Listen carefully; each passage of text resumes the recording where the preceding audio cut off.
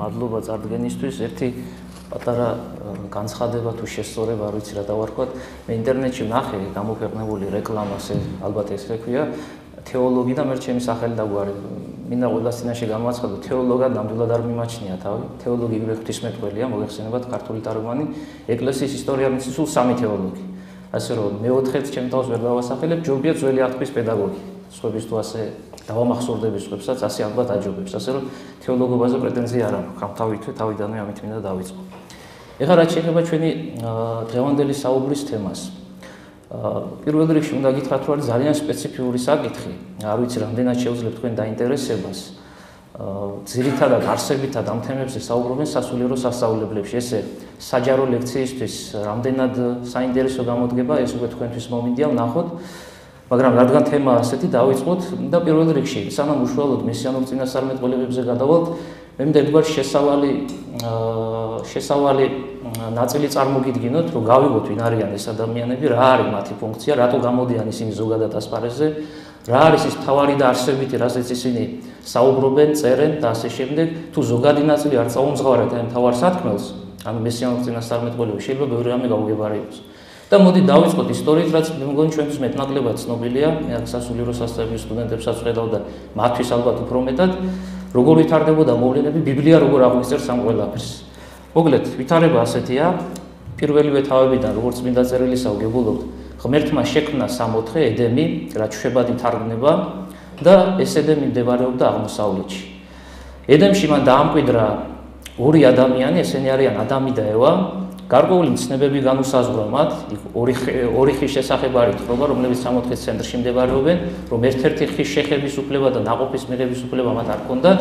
თუ კი ამას მოიმოქმედებდნენ ისინი, ანუ მიიღებდნენ ამ ناقოფის ხეს, კეთილისა და ბოროტის შეცნობის ხე ასე ეწოდება, მაშინ სიკვდილით მოკვდებოდნენ. ასეთი სიტყვები ამით იდებული ძალიან საინტერესო. სიკვდილით მოკვდები რას უნდა ნიშნავდეს? საკმარისია მოკვდები რო უთხრა ადამიანს არა, მაგრამ ხაზგასმა და ეს არ არის შემთხვევით, ამას თავისი განმარტება შეიძლება, ნათქვამია რომ სიკვდილით მოკვდები და ამაზე ორიოდე სიკვდილით ოდნავ მოგვიანებით. ჩვენი პირველი მშობლები, ასე ქვიათ მათ ადამიანსა და ევას, ღვთისმცნებას უგულებელ ყოფენ, ისინი არ ღვევენ ამ ცნებას და ადამიანურ ბუნებაში შემოდის სრულიად საპირისპირო თვისებები, თვისებები, რითიც ღმერთს ადამიანი არ გაუჩენია. ჩვენ თუ ვნახავთ დოგმატური საფრთხისმეტყველო სახელმძღვანელოების აი ამ ნაწილს, სადაც ამ საკითხებზე ალაპარაკი, ის თვისებები, რაც მე ახლა ვახსენე, რითიც ღმერთს ადამიანი არ შეუქმნია და მე შეიძლება მან დაცემის შედეგად, ძირითადად სამ სამი რამით ფორმულირდება. ჩამონათვალში სამი ტერმინია მოხსენიებული.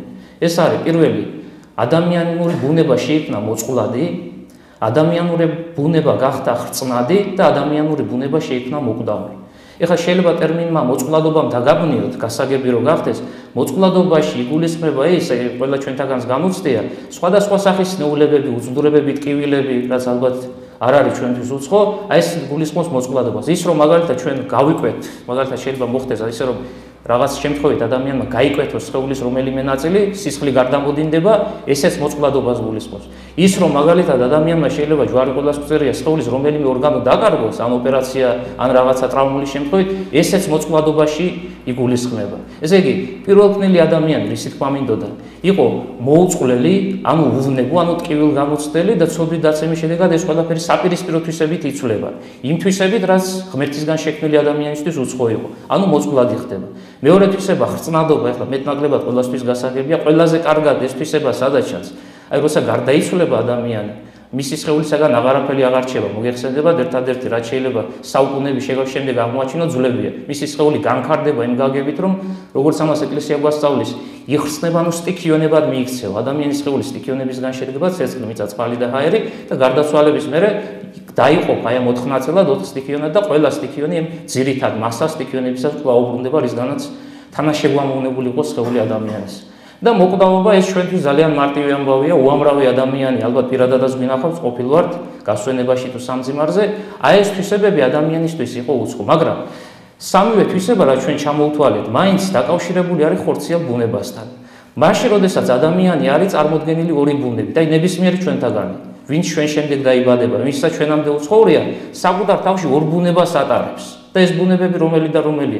ერთი ხორციელი ბუნება და მეორე სულიერი ბუნება. ჩვენთვის სახილველი, აი ხელშესახები, რასაც ჩვენ ხედავთ, ეს არის ხორციელი ბუნება, იმიტომ რომ ერთმანეთს უყურებ და ხორციელი ბუნება ნივთიერია და ნივთიერება არის სახილველი. მაგრამ სულიერი ბუნება ადამიანის თვალთათვის უცხოა. ჩვენ ვერ ხედავთ. ხშირ შემთხვევაში თუ ადამიანი არ ჩაუღრმავდა ქრისტიანული ცხოვრებით, არ მოხდა მისი გამართვა, საკუთარ სულსაც ვერ შეიმეცნებს და მით უმეტეს ხეს სულს ვერ დაინახავს. რისი თქმა მინდოდა? ცოდვი დაცემის შედეგად ეს სამი თვისება რაც ხორციელმა ბუნდებმა შეიძინა, მხოლოდ ამით არ სრულდება. დაზიანდა ადამიანის სულიც.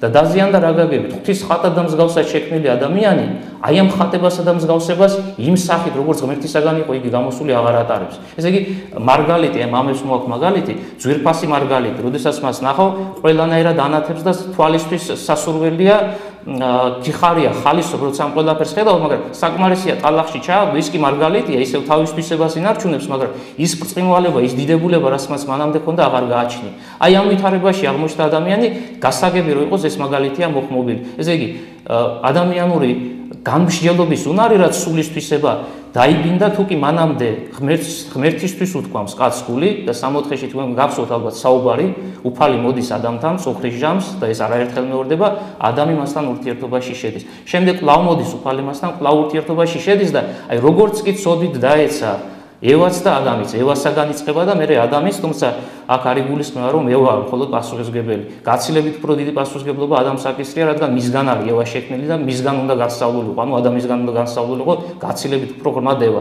აი როგორც კი დაეცა ცოდვით ერთიც და მეორეს და ღმერთი მოვიდა მათთან ისევ მწუღრზე, მათ რა მოიმოქმედეს? აი დასემა ძალიან კარგად ჩანს სული შემთხვევაში აი ამ ვითარებაში.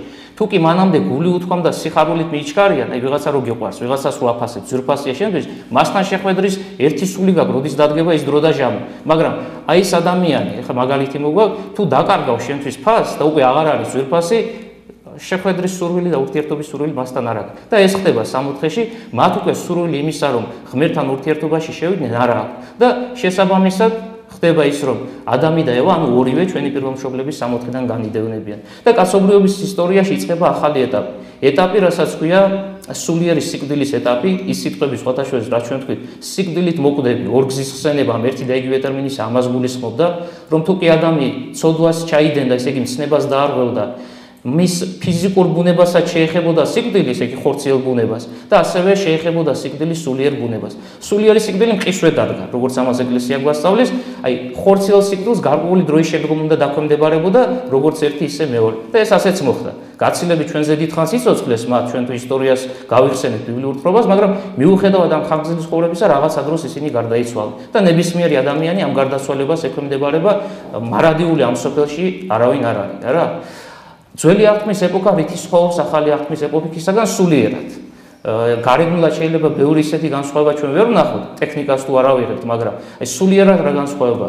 სულიერად განსხვავება მდგომარეობს იმაში, რომ გარდაცვალების შემდეგ ძველი აღთმის ეპოქაში უკლებლივ ყველა ადამიანი მიემართებოდა ჯოჯოხეთში. როგორი მოღვაწეც არ უნდა ყოფილიყო იგი და მე ახლა გიხსენებთ რამდენიმე ადამიანს, ყველაზე უფრო გამორჩეულებს და ალბათ ცნობილებს, მამამთავარი ა ブラ ამი. ადამიანი, რომელმაც სიწმინდით წვერვას მიაღწია და აბრაამის წიაღი სასუფეველი ასე ეწოდება. ერთი ადამიანის სახელი ქვია იმ ადგილს, სადაც წმინდანები არიან შემოკრებულები. ეს ადამიანიც კი გარდაცვალების მერე ჯოჯოხეთში წავიდა და რატო? სასუფეველის კარები დახურულია. არავის თავითვისით საკუთარი შესაძლებლობების ცხონება არ ხელეწიფება. მაგალითად, წინასწარმეტყველი მოსე და მოსეზე რა არის ბიბლიაში ნათქვამი? როდესაც ის სინას ფაზე არის და უფალთან შედის ურთიერთობაში, იმხელა სიწმინდის მიმღები ხდება, ჯერ ერთი ისეთი სიღრმეები ჭრեց უზენაეს, რომ თიდან გარდამოსulis გარეგნობა როგორია, მისი პირი სახე ანათებს და რიდე ექნა ჩამოსაფარებელი ისეთი უცხო სახილველი იყო ადამიანებისთვის, ხოლო ლოცვის დროს იხსნიდა, როგორც ამას ბიბლია გვაუწყებს, ადამიანებს რო არ ენახათ მისი მდგომარეობა, ფიზიკური ფიზიკურადაც გაწყდა ეს ადამიანი. გარდაიცვალა და ჯოჯოხეთში წავიდა, ასე ასწავლის ეკლესია. ესე იგი, ვითარება ასეთია ძველ აღთმაში. ყველა, ვინც კი გარდაიცვლება, დაქვემდებარებული არის სულიერ სიკვდილსაც და სულიერი სიკვდილი ეს არის წარწმედა ადამიანისა და ჯოჯოხეთი მოგეხსენებათ, რომ წარსაწმედელს ქვია. რამდენიმე ტერმინი შეგვიძლია ჩვენ გამოვიყენოთ, სინონიმები, ჯოჯოხეთი, წარსაწმედელი, მარადიული წარწმედა და ასე შემდეგ. ბევრის მოხმობა შეიძლება. აი ეს ვითარებაა ძველ აღთმაში. ესე იგი, მიუხედავად იმისა, რომ ადამიანი დაეცა და ეს პიროვნული არჩევანია მის, ჩვენ ვერ დავაბრალებთ, ვერ ვიტყვით იმას ღმერთზე, რომ ის რატო არ ჩაერია, არ ჩაერია მარტივი მიზეზის გამო. თავის ხატად და მსგავსად შექმნა, თავისუფალინება უბოძა და შესაბამისად ამ არჩევანში ის არ ერევა. ის რო ჩარეულიყო ადამიანის არჩევანში, ესე იგი უფალი რო ჩარეულიყო არჩევანში ადამიანისა, გამოვიდა რომ ადამიანი არის დაპროგრამებული არსება, რასაც უფალი ეუბნება, ის უნდა შეასრულოს. პირიქით, გაცილებით დიდი ღირსება უბოძა მან ადამიანს და ეს ღირსება ადამიანმა ვერ გამოიყენა. კაცი პატივსაშინა იყო ასეთ სიტყვებს ამბობს დავით მეფსალმონე და ბაძვი და იგი პირუტკთა უგუნურთა და მიემსგავსა მას. ესე იგი პირველ რიგში აი ამ პირველ მშობლებზეა ნათქვამი და მე ნებისმიერ ჩვენ დაგანზე ჩვენც მათ და ყოლათა ვარ შედგომილები. ყველა ჩვენი ყოველდღიური ცხოვრება და ცოდვა რასაც ვირჩევთ ხშირ შემთხვევაში გამეორება იმ ვითარებისა რაშიც იმყოფებოდა ადამიანევა ან ერთი ან მეორე. მოკლედ ახლა ცოტა თემას დავუახლოვდეთ ძალიან შორს წავედით, იმიტომ რომ ისეთ საინტერესო სასაუბრო საკითხებია რა ძალიან ბევრი მიმართულებაა და ძალიან ხშირად ხდება გადახვევა არსებით და მთავარი საკითხი და რისი თქვა გვინდოდა? ძველი აღთქმის პირობები ასეთია. ადამიანს თავისი ძალებით გადარჩენა არ შეუძლია, თუნდაც ანგელოზი უძლურია იმისთვის, რომ ადამიანი ცხონებაში მიიყვანოს, ესე იგი წარსატყველიდან ამოიყვანოს და ცხონებ ცხონებულთა წიაღი გახსნას და ეგ შეიყვანოს, ამიტომაც აუცილებლობა დგება დღის წესრიგში, დღის წესრიგში, რომ ისეთი რამ ახსრულდეს, რითიც შეიმუსრება ჯოჯოხეთის ბჭენი და იქ მყოფ ადამიანებს, იმ ადამიანებს, ვინც ღმერთის მეძიებლები არიან და არა ყველას გაეხსნეს სასופველი ცათა და მოხდეს მათი შეყვანა. ეს როგორ უნდა მომხდარიყო? ერთადერთი გზა, როგორც ამას ეკლესია და საეკლესიო განმარტებები გვასწავლიან, ერთადერთი გზა, სხვა გზა არ არსებობდა, ეს იყო ღმერთის განკაცება. ესე იგი, შემოქმედი ვინც ამ ხელა სამყარო შექმნა, რომელმაც ნებისმიერი ჩვენთაგანი შექმნა, ღმერთია შემოქმედი ყოველივესი, უნდა განკაცებული სახით მოსულიყო წუთისოფელში. და ის მთელი ძველი აღთქმის ისტორია, ეს არის საფრთხო განგებულება, ზადება იმისათვის, რომ ღმერთი განკაცებული სახით მოვიდეს წუთისოფელში. მაგრამ მოგეხსენებათ, რომ ადამი და ევა შემდგომ კაცობრიობა მრავლდება. ჩვენ ვიცით სამი შვილის სახელი მისი, არა? კაინი, აბელი და სეითი. მიუხედავად ამისა, ექვე ბიბლიაში ნათქვამია, რომ ამ სამი შვილის გარდა მას ყავდა ქალები, ესე იგი, ასულები და ვაჟები. აი, გამრავლება კაცობრიობისა მოხდა დაძმების შეუღლების შედეგად. და ეს მაშინ შეუღლებრივი მოვლენა იყო, სხვანაირად კაცობრიობა ვერ გამრავლდებოდა. ყველან ისინი ადამიანისაგან და ევასგან შობილები არიან, თუ ურთიერთან ხორციელი კავშირი გზით არ გამრავლდნენ, ბუნებრივია რომ შეუღლებრივად სიმრავლე ადამიანების აღარ იქნება. აი ამიტომაც ეს დაშვებული იყო, როგორც უკვე ვთქვით, და ხდება კაცობრიობის გამრავლება. კაცობრიობა რომ მრავლდება, მე ბაბილონის გოდოლის ისტორია გაყოფა ენებისა წარმოდგება უკვე მრავალი ტომი, მრავალი ეთნიკური სხვადასხვა ჯგუფი, ასეთი ეთნიკური ჯგუფები ქმნიან თავიანთ სახელმწიფოებს, თავიანთ ქვეყნებს და ბუნებრივია ხშირ შემთხვევაში ერთმანეთთან დაპირისპირება აქვს, ერთმანეთთან ცუდი ურთიერთობა აქვს, საითმე მყავს ახლა საუბარი.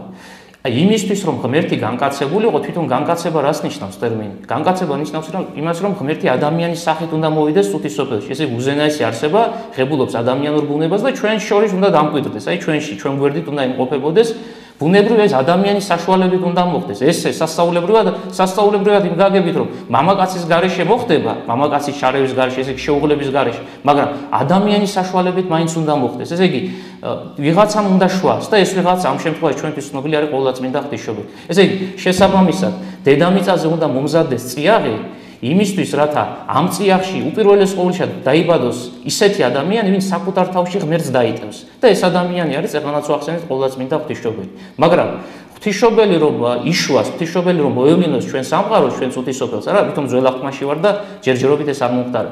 ამისთვის საჭიროა რაღაცა ეთნიკური ჯგუფის არსებობა, ის ვიღაცას უნდა ეკუთვნოდეს, არა, რომელიღაცა გენეტიკური მოდგმის წარმომადგენელი უნდა იყოს. აი ღმერთმა ძველი აღთქმის პირობებში აი ამ მრავალტომსა და ეთნოს შორის გამოარჩია ერთი ერი და ეს არის იუდეველი ერი, ებრაელი ერი, რომელსაც ჩვენ ვიცი ტერმინოლოგიურად რა ქვია, რჩეული ერი ასე ეწოდება და რჩეულობა რას გულისხმობს? უფალმა აი ამ უამრავ ხალხ შორის, უამრავ ეთნიკურ ჯგუფებს შორის მხოლოდ ამ ერს მოუხმო. ეხლა კითხვა ისმის ასეთ, რატომ და მაინც ებრაელი ერი? აი ვიღაცა სიტყვაზე სხვა ერის წარმომადგენელი. მე რა დავაშავე? აი მეც რო გამცხადებოდა სინასწრაზე ჯული, ამით არ მივიღებდი აი მოძღვრებას? ჩვენ ყველაზე კაი პასუხი მაინც მე რაც შემხედრია ყოველ შემთხვევაში გვაქვს წმინდა დიორისე დიონისე არიოპაგელის მოძღვრებაში მან დაწერა არიოპაგეტული корпуსი ასე ქვია ხუთი ნაწილისაგან შედგება იქ ის მსჯელობს ამ საკითხზე და ასეთი მითითება აქვს რომ ძველი აღთმის პირობებში ერთადერთი ერი ერთადერთი ხალხი ეთნოსი რომელიც ჭეშმარიტი ღმერთის, ერთი ღმერთის შესახებ მოძღვრებას მიიღებდა, ეს იყო იუდეველი ერი. სხვა ხალხი ამას არ მიიღებდა. ამიტომაც ღმერთი ფუჭად არ დამაშრალობს ის ვინც მის მოძღვრებას არ მიიღებს მას საკუთარ თავს არ უცხადებს და უცხადებს მხოლოდ მათ ვინც მზად არის რომ მოძღვრება ერთი ღმერთის შესახებ დაიდიოს თქვენ გაიხსენეთ ახლა მეტნაკლებად ალბათ შეხებიხარ ძველი აღთქმის პირობებში როგორი ვითარებაა? აი თუნდაც ასურეთის იმპერია ბაბილონის იმპერია მერე საბერძნეთი რომის იმპერია ცოტა უფრო შორს წავიდეთ ვითარება ასეთია ერთ სამეფოში განსაკუთრებით დედაქალაქში ხდებოდა ეს ყველაზე გამორჩეული მსახურებები რამდენიმე ღმერთი არსებობს უმაღლესი ღმერთები მათზე დაქვემდებარებული მეორე ხარისხოვანი ღმერთები მესამე ხარისხოვანი ღმერთები, ამ ღმერთებს საკუთარი ძეები ყავთ, ასულები ყავთ, ბერძნული მითოლოგია ყოველთვის მეტნაკლებად ცნობილი ალბათ. რაღაცა აი აბლაბუდას ქსელია გამული ვერ გაიგებ, რომელი ღმერთი სად არის და რომელ ღმერთს უნდა მიმართო რაღაცა კონკრეტულ ვითარებაში. ესე იგი, რისი თქმა მინდა, შეხედულება, მსოფლმხედველობა ძველი აღთქმის ადამიანს არის პოლითეისტური. ანუ მრავალ ღმერთიანობას აღიარებს ის. მისთვის მოძღვრება ერთი ღმერთის შესახებ, რომ მიხვედი შენ ვიღაცასთან, მაგალითად იმ ეპოქაში ცხოვრობ და უთხარი რომ სინამდვილეში ასე კი არ არის. აი თქვენ რომ მიგაჩნიათ უამრავი ღმერთია და შვილები ყავთ და ასე შქორწინდებიან და განქორწინდებიან, ასეთი ვითარება კი არა. ღმერთი ერთია და ამ ერთმა ღმერთმა შექმნა სამყარო, ისინი ამოძღვრებას არ მიიღებენ. არ მიიღებენ, იმიტომ რომ გაუკუღმართებული ცნობიერება მათთვის გაუგებარია, როგორ შეიძლება ღმერთი მხოლოდ ერთი იყოს. აი ამიტომაც უფალმა გამოერჩია ის ხალხი, ის ერი, ვისთვისაც ეს მოსყრება მეტნაკლებად დასატევი იქნება. მათაც უჭირდათ და ისტორია რომ ნახოთ ებრაელებისა, უფალმა თასაკუთარი თავი გაუცხადა, მაგრამ მთელი ამ ძველახმისეული ისტორიის მანძილზე ჩვენ ხედავთ გამოვლინებებს, როგორ მიიჩქარიან ისე იმ წარმართული შეხედულებებისკენ, მაგრამ მაწიახში არის ესეთი ხალხი, განსაკუთრებული ხალხი, მოღვაწეობით გამორჩეული ხალხი, ვინც მთელი სიღრმით იმეცნებს აი ამ სწავლებას, სწავლებას მოძღვრებას, რომელიც უფალმა სინათლაზე გააცხადა. მოკლედ, მივედით უკვე მე მგონი ამ წინასწარმეტყველებამდე, უფალმა გამოირჩია ეს ერი გამოიყვანა ისინი ეგვიპტის წყობიდან მოსეწინას წარმეთქველის საშუალებით ეს არის მე-14 მე-13 საუკუნეების მიჯნა ძველი წელთაღრიცხვისა და ისინი მიდიან აღთქმული ქვეყნისკენ. გაცხადება საკუთარი თავისა ხდება სინას ფასთან და გაცხადება რითი მოხდა. 10 მცნება მისცა უფალმა იუდეველებს ეს ისეთი შემაზრწუნებელი სანახაობა იყო. ხალხმა უთხრა მოსეს რომ ჩვენ არ გვინდა მეტჯერ რომ მოვისმინოთ მისგან რამე. აი შენ ადი სინასფაზე, შენ მიიღე ყველაფერი, რასაც ის გაუწევს, ჩვენ ჩვენ გვითხარი და ჩვენ ყველაფერს დაგიჯერებთ. ისე განიცადეს, ცეცხლი იყო მოდებული, რაღაცა ხუხილის ხმა იყო, როდესაც უფალი ეცხადებოდა და აი ამ ყველაფერმა დიდი შიში გამოიწვია და ეხლა ისე ხუხილის ხმა რო გაიგო, ისე შეძრწუნდები ადამიანი და თან მithumedes ღმერთის გამოცხადება. ეს ჩვეულებრივი ხუხილი კიდე ბუნებრივი მოვლენა. რისი თქმა მინდოდა. მოკლედ, ებრაელიერი შედის აღთქმულ მიწაზე და იწყება უკვე ახალი ეტაპი მათი ცხოვრებისა. ეს რას გულისხმობს? მას უკვე საკუთარი სამშობლო. იქ ადგილობრივი მოსახლეობა აღარ არის, ისინი მოკლედ ტოვებენ ამ საკუთარ საცხოვრებელს სხვადასხვა ძალისმიერი მეთოდებით, იუდეველთაგან გამოყენებულით და აი ამ მიწას, აღთქმულ მიწას, ასე ქვია, იმკვიდრებს იუდეველიერი. სხვადასხვა ეს გარკვეულწილად მათი საკუთრება იყო. აი მამამთავარი აბრაამი, იაკობი, აბრაამი, საგი, იაკობი და მათი შვილები აქ ცხოვრობდნენ ამ აღთქმულ მიწაზე და შემდეგ უკვე, როდესაც გადადიან ეგვიპტეში, გადის 4 საუკუნეთყრობისა, იქ ისინი ერატყალებდებიან და უბრუნდებიან იმ პირველად საცხოვრის, სადაც თავის დროზე შორეულის ნაბრები მათი იმყოფებოდნენ. ანუ 4 საუკუნოვანი წვეთა მოხდა და მერე დაუბრუნდნენ კვლავ საკუთარ საცხოვრებას. აი იაკობი ეწება ახალი ეტაპი უდეველი ერის ცხოვრებისა, მათ საკუთარი სახელმწიფო აქვს და ჩვენ ვიცით პირველი ეტაპი, თუ როგორ ხდებოდა ერის მართვა. ესე ერი თავისით ვერ იცხოვრებს. მას ყოველთვის ჭირდება ვიღაცა ესეთი, ვინც წინ წაუძღვება რა, რაღაცა მოვლენებს დაგეგმავს, ტრის შემოსევა თუა მობილიზებას გაუკეთებს მოსახლეობას. აი ასეთ ხალხა ჩვენ გვევლინება მსაჯულები, ეს არის მსაჯულების ეპოქა, დაახლოებით გრძელდება 2 საუკუნის მანძილზე. ესე იგი მე-13 საუკუნეში ისინი აღთქმიცაზე შევიდნენ და მე-11 საუკუნემდე მსაჯულთა ხანა გაგრძელდა. მსაჯულთა ფუნქცია არსებითი და მთავარი არის ის, რაც მე თქვენ გითხარით. აი წერი რო წამოვა, ეხლა ვიღაცამ თუ ჩვენ ხელმძღვანელობა არ გაგვიწია, ვერ გავიგებთ რა გავაკეთოთ. ხო გჭირდება რა ორგანიზება, რაღაცა ვიღაცამ უნდა გვითხრას, რომ აქ შევიკრიბოთ, ზოგი იქ უნდა განაწილდეს, ზოგი აქ უნდა განაწილდეს. ფუნქცია მსაჯულებისა ეს არის. ერის კეთილდღეობაზე ყოფითი გაგებით, ქვეყნიური გაგებით იზრუნონ, რომ ეს ერი მტრებისაგან არ იყოს შემოსვლილი. მაგრამ გადის ეს პერიოდი და უკვე ჩვენ შევდივართ ძველი წელთაღრიცხვის მე-11 საუკუნეში, როდესაც ებრაელმა ერმა მოითხოვა მეფე მართლად მანამდე მათ მეფე არ ყავდათ და უფალი ამ სრულს უსრულებს, იმიტომ რომ არ ძალმომრეობს ადამიანის პიროვნულ არჩევანზე და რიგით პირველი მეფე მოგეხსენებათ რომ იყოს საული. ეხლა მე-11 საუკუნე რატო ახსენე? აი მე-11 საუკუნე არის ის ჟამი, ის დრო, როდესაც მასიურად ებრაელიერის ცხოვრებაში ასპარეზზე გამოდიან ძველი აღთქმის წინასწარმეტყველები. წინასწარმეტყველი თვითონ ტერმინი, ალბათ მეტნაკლებად გვესმის, რასაც ნიშნავს, არის ადამიანი, ვინც წინ და წინ აცხადებს იმას, რაც მომავალში მოხდება. წინასწარმეტყველი, არა, ბერძნული პროფიტის ასეთი ტერმინია, ებრაულში ხდება ტერმინი ნაბი. ყველა ყველა ეს ტერმინი ერთ და იგივე შინაარსის არის ადამიანის მომავლის შესახებ შესახებ მოძღვრებას აცხადებს. თუმცა ერთი რამე უნდა გითხრათ, წინასწარმეტყველება არ გულისხმობს მხოლოდ მომავლის გაცხადებას, როგორც ამას წმინდა გრიგოლ დიოლოგოსი ამბობს. წინასწარმეტყველება შეიძლება მოხდეს წარსულისა, ცოტა უცნაური მოვლენაა, მაგრამ შეიძლება იყოს აწმოსთან დაკავშირებით. ესე იგი, სამ დროს მოიცავს თავის თავში ასეთი ადამიანი. ეხლა მაგალითი, ცოტა გაუგებარია, გითხარით, წარსულის წინასწარმეტყველება როგორ შეიძლება, რაც მოხდა ის ვიცი და როგორ ვიცინასწარმეტყველო.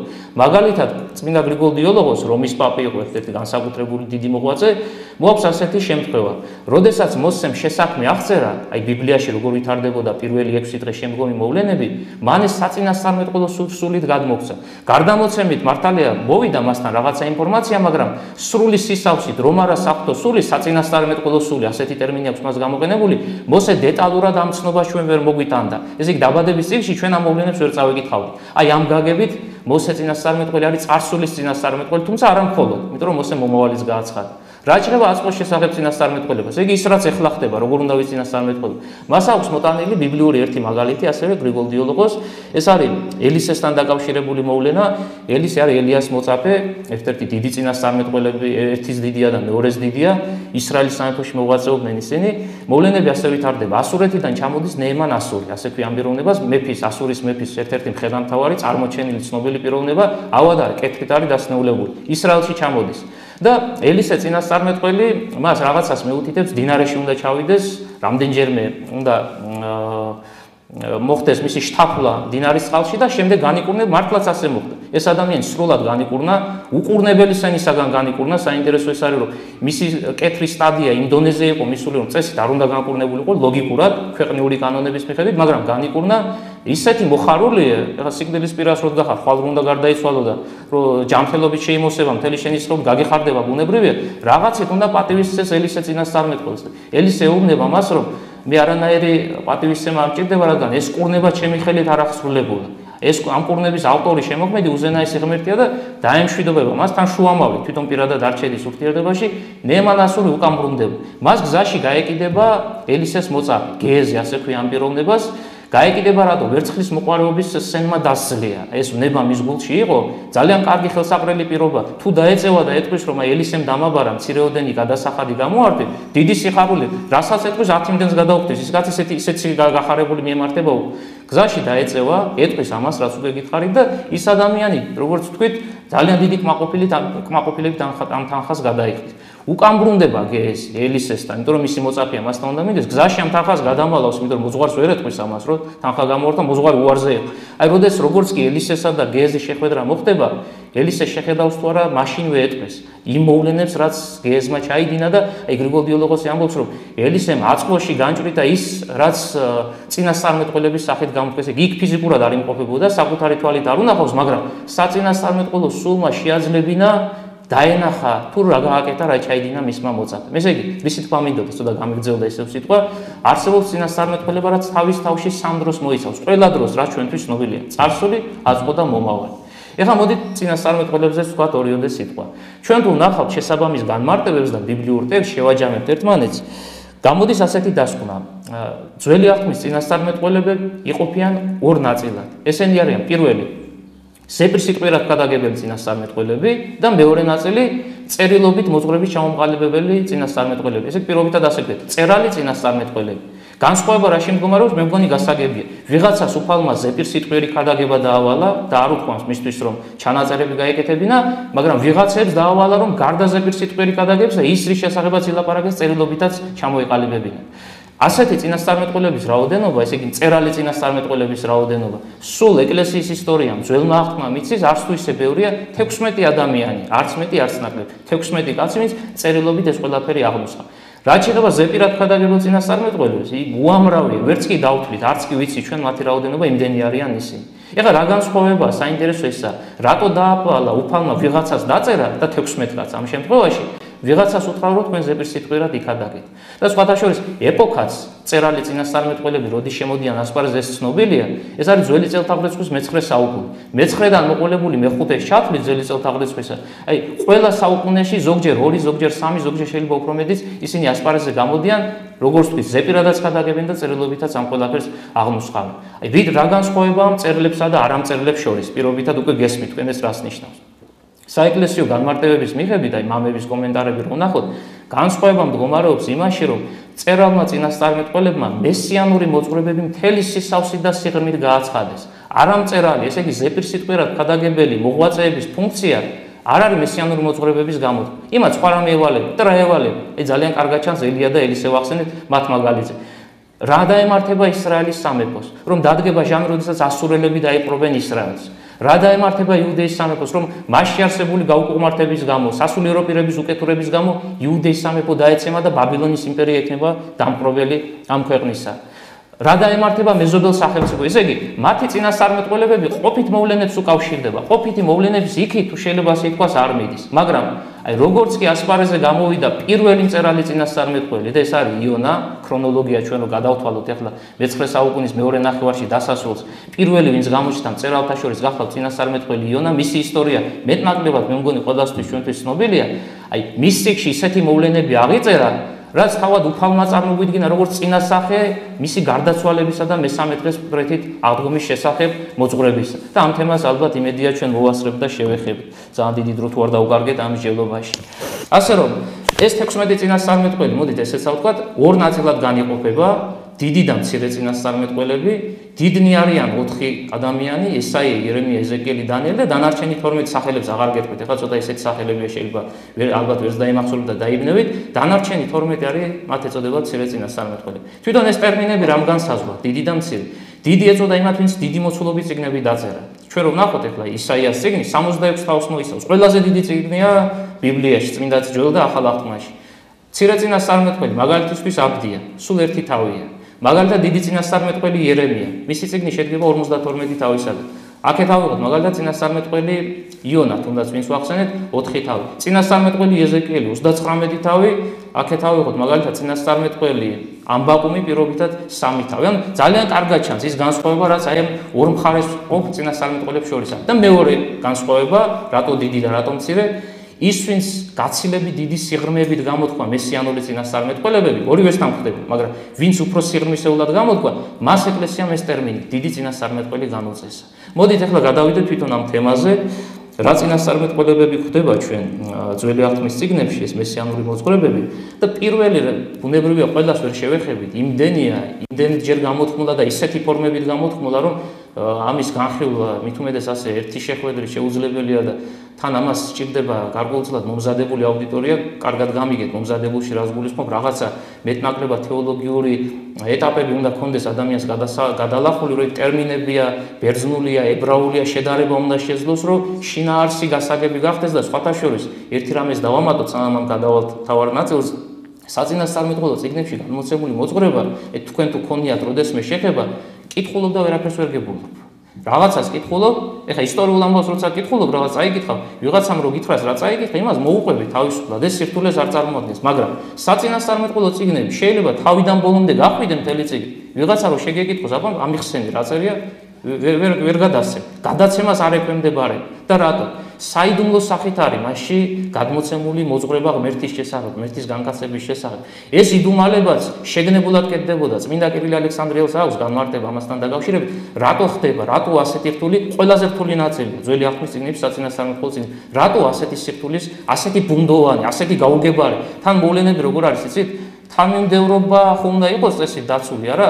მაგალითად თანმიმდევრობაში რას გულისხმობ? ეხლა ჩვენი თხრობა მიმდინარეობს ჩვენი შეხვედრა შემდეგ დასრულდება შემდეგ ჩვენ სახლებში დავიშლებით თანმიმდევრობა ასეთია მაგრამ ამ ციგნებში როგორ არის მოვლენა ის რაც წინ წინ უნდა მოხდეს უკან არის გადატანილი რაც მოგვიანებით უნდა მოხდეს ის წინ არის აი ქრონოლოგია თანმიმდევრობა მოვლენებისა მოკლედ არასწორად არის დალაგებული და რატო კეთდებოდა? თავარი არსებითი კითხვის პასუხის გაცემა ამ მოვლენაზე.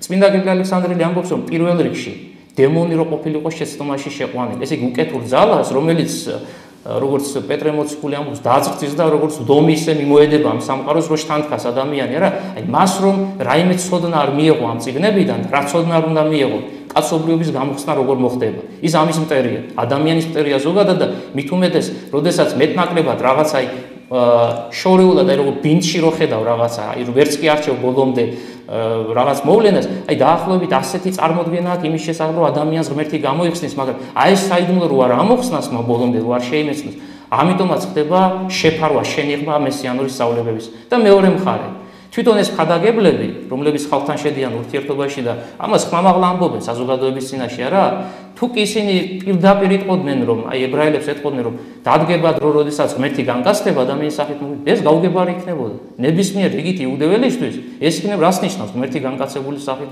როგორ შეიძლება ღმერთი ეს ჩვენთვის ეხლა დღევანდელი გადმოსახედიდან მეტნაკლებად ადვილი გასაგებია მაგრამ იმ ეპოქაში ღმერთის განკაცება ეს ყოლად გაუგებარი მოვლენა მაგრამ სწორედ ამიტომ ხდება. თუკიო წმინდა იოანე ოქროპირის აქვს ერთი გადაგება მოხდებოდა ისე რომ პირდაპირ იქნებოდა სათქმელი ნათქვამი აი ეს მესიანური მოძღვრები გაცხადებული ღმერთი რომ უნდა განგასეს ადგილზე ჩაფოლავდნენ წინასწარმეტყველებს ამიტომ ღმერთი უფრთხილდება საკუთარ მოღვაწეებს რომ მათ შეძლონ საქმის კეთება ამასოფელში და ხდება შენიღვა ამ სწავლებების ესე იგი რამდენიმე მიზეზი. ერთი ამ შემთხვევაში უკეთურ ძალას უკავშირდება მეორე ადამიანებისგან ადამიანთან დაკავშირებულ მოვლენებს აი ეს ორი მხარე უნდა დავინახოთ აი ამ სირთულეში საწინასწარმეტყველო წიგნების მოძღვრებისა თვითონ აცნობიერებდნენ თუ არა? ორი სიტყვა ამაზე ვთქვათ. იმიტომ რომ რო წაიკითხავ ამას შეიძლება იფიქრო რომ ვერც თვითონ ვერ გებულობს რაზე ლაპარაკობს? რაღაც რო გებულობს ადამიანი ის მარტივად გადმოგცემს რაღაცა რო იცი იმის გადასცემა რთული არ არის და სხვას გიგებს რაც შენ იცი იმ საკითხზე როცა ელაპარაკებ. რა თქმა უნდა იცოდნენ. ეკლესიის სწავლება რომ უკლებლი ბოლომდე იცოდნენ როდესაც ისაიამ თქვა აჰა მიუდგეს ხალწული შვეზზე და უწოდიან სახელი მის ემანუელ მან იცოდა რომ ღმერთი უნდა განკაცებულიყო ეს შემეცნება სრულად ჰქონდა მას მიღებული და რატო იმიტომ რომ ის წინასწარმეტყველებს იმას რაც უფალმა გაუცხადა მას. ჯერ თვითონ იმეცნებს, როგორც მოძღვარი, შეიძლება მოძღვარი იყოს ადამიანის თვითონ არ იცის რაღაცა, რასაც სხვას ასწავლის, არა? დღევანდელ დღეზე გადმოვიდა სასულიერო პირი, ვინც ქრისტიანობა რა არის თვითონ არ იცის, როგორ უნდა იცხოვროს ქრისტიანულად თვითონ არის და მოვიდა და ჩვენ გვასწავლის, ხო წარმოუდგენელია. ასეთი რამე შეუძლებელია მოხდეს. აი ზუსტად ასევე ხდება მათთან მიმართებით. ისინი ჯერ თვითონ იმეცნებენ, ღმერთი რაღაცას რო უცხადებს და ეს სულიერ სამყაროში ხდება. ეს არის დუმალებით მოსული პროცესი, ამას ჩვენ ვერასოდეს ვერ ჩავწდებით. ამ ორ მხარეს შორის, ესე იგი ღმერთსა და ადამიანს შორის რა ხდებოდა? რაღაცა საოცრებები ხდება. ამის ნათელი დასტურია თუნდაც ეზეკიელის ციგნი პირველი მეორე მესამე თავები ყველაზე აღმატებული გამოცხადება უზენაესა, როდესაც ეზეკიელმა ოთხსახუანი ქერუბი მიიხილა. ერთ არსების, ერთი არსების თავზე ადამიანის ლომის ხარის და არწივის სახეა. ოთხ მხარეს იმზირება ეს ოთხი სახე შეძრწუნდა წინასწარმეტყველი ასეთი რამე კაციშვილს არ ენახა მანამდე და არც მე მე აპოკალიფში აღწერილი იოანე ღვთისმეტყველის. რისი თქვა მინდოდ? ეს არის იდუმალებით მოცული მოვლენა, რომლის არ შეცდომა ჩვენ ძალიან გაგვიჭირდება და ჩვენთვის შეუძლებელიც გია შეიძლება ასე ითქვას. აი ამიტომაც ეს ადამიანები თვითონ ამ ყველაფერს იმეცნებენ, თვითონ განისწავლებიან და განსწავლოს, ანუ იმას რაც იციან, შემდეგ სხვებს აუწყენ. მოდით ახლა გადავიდეთ მაშინ თავარზე.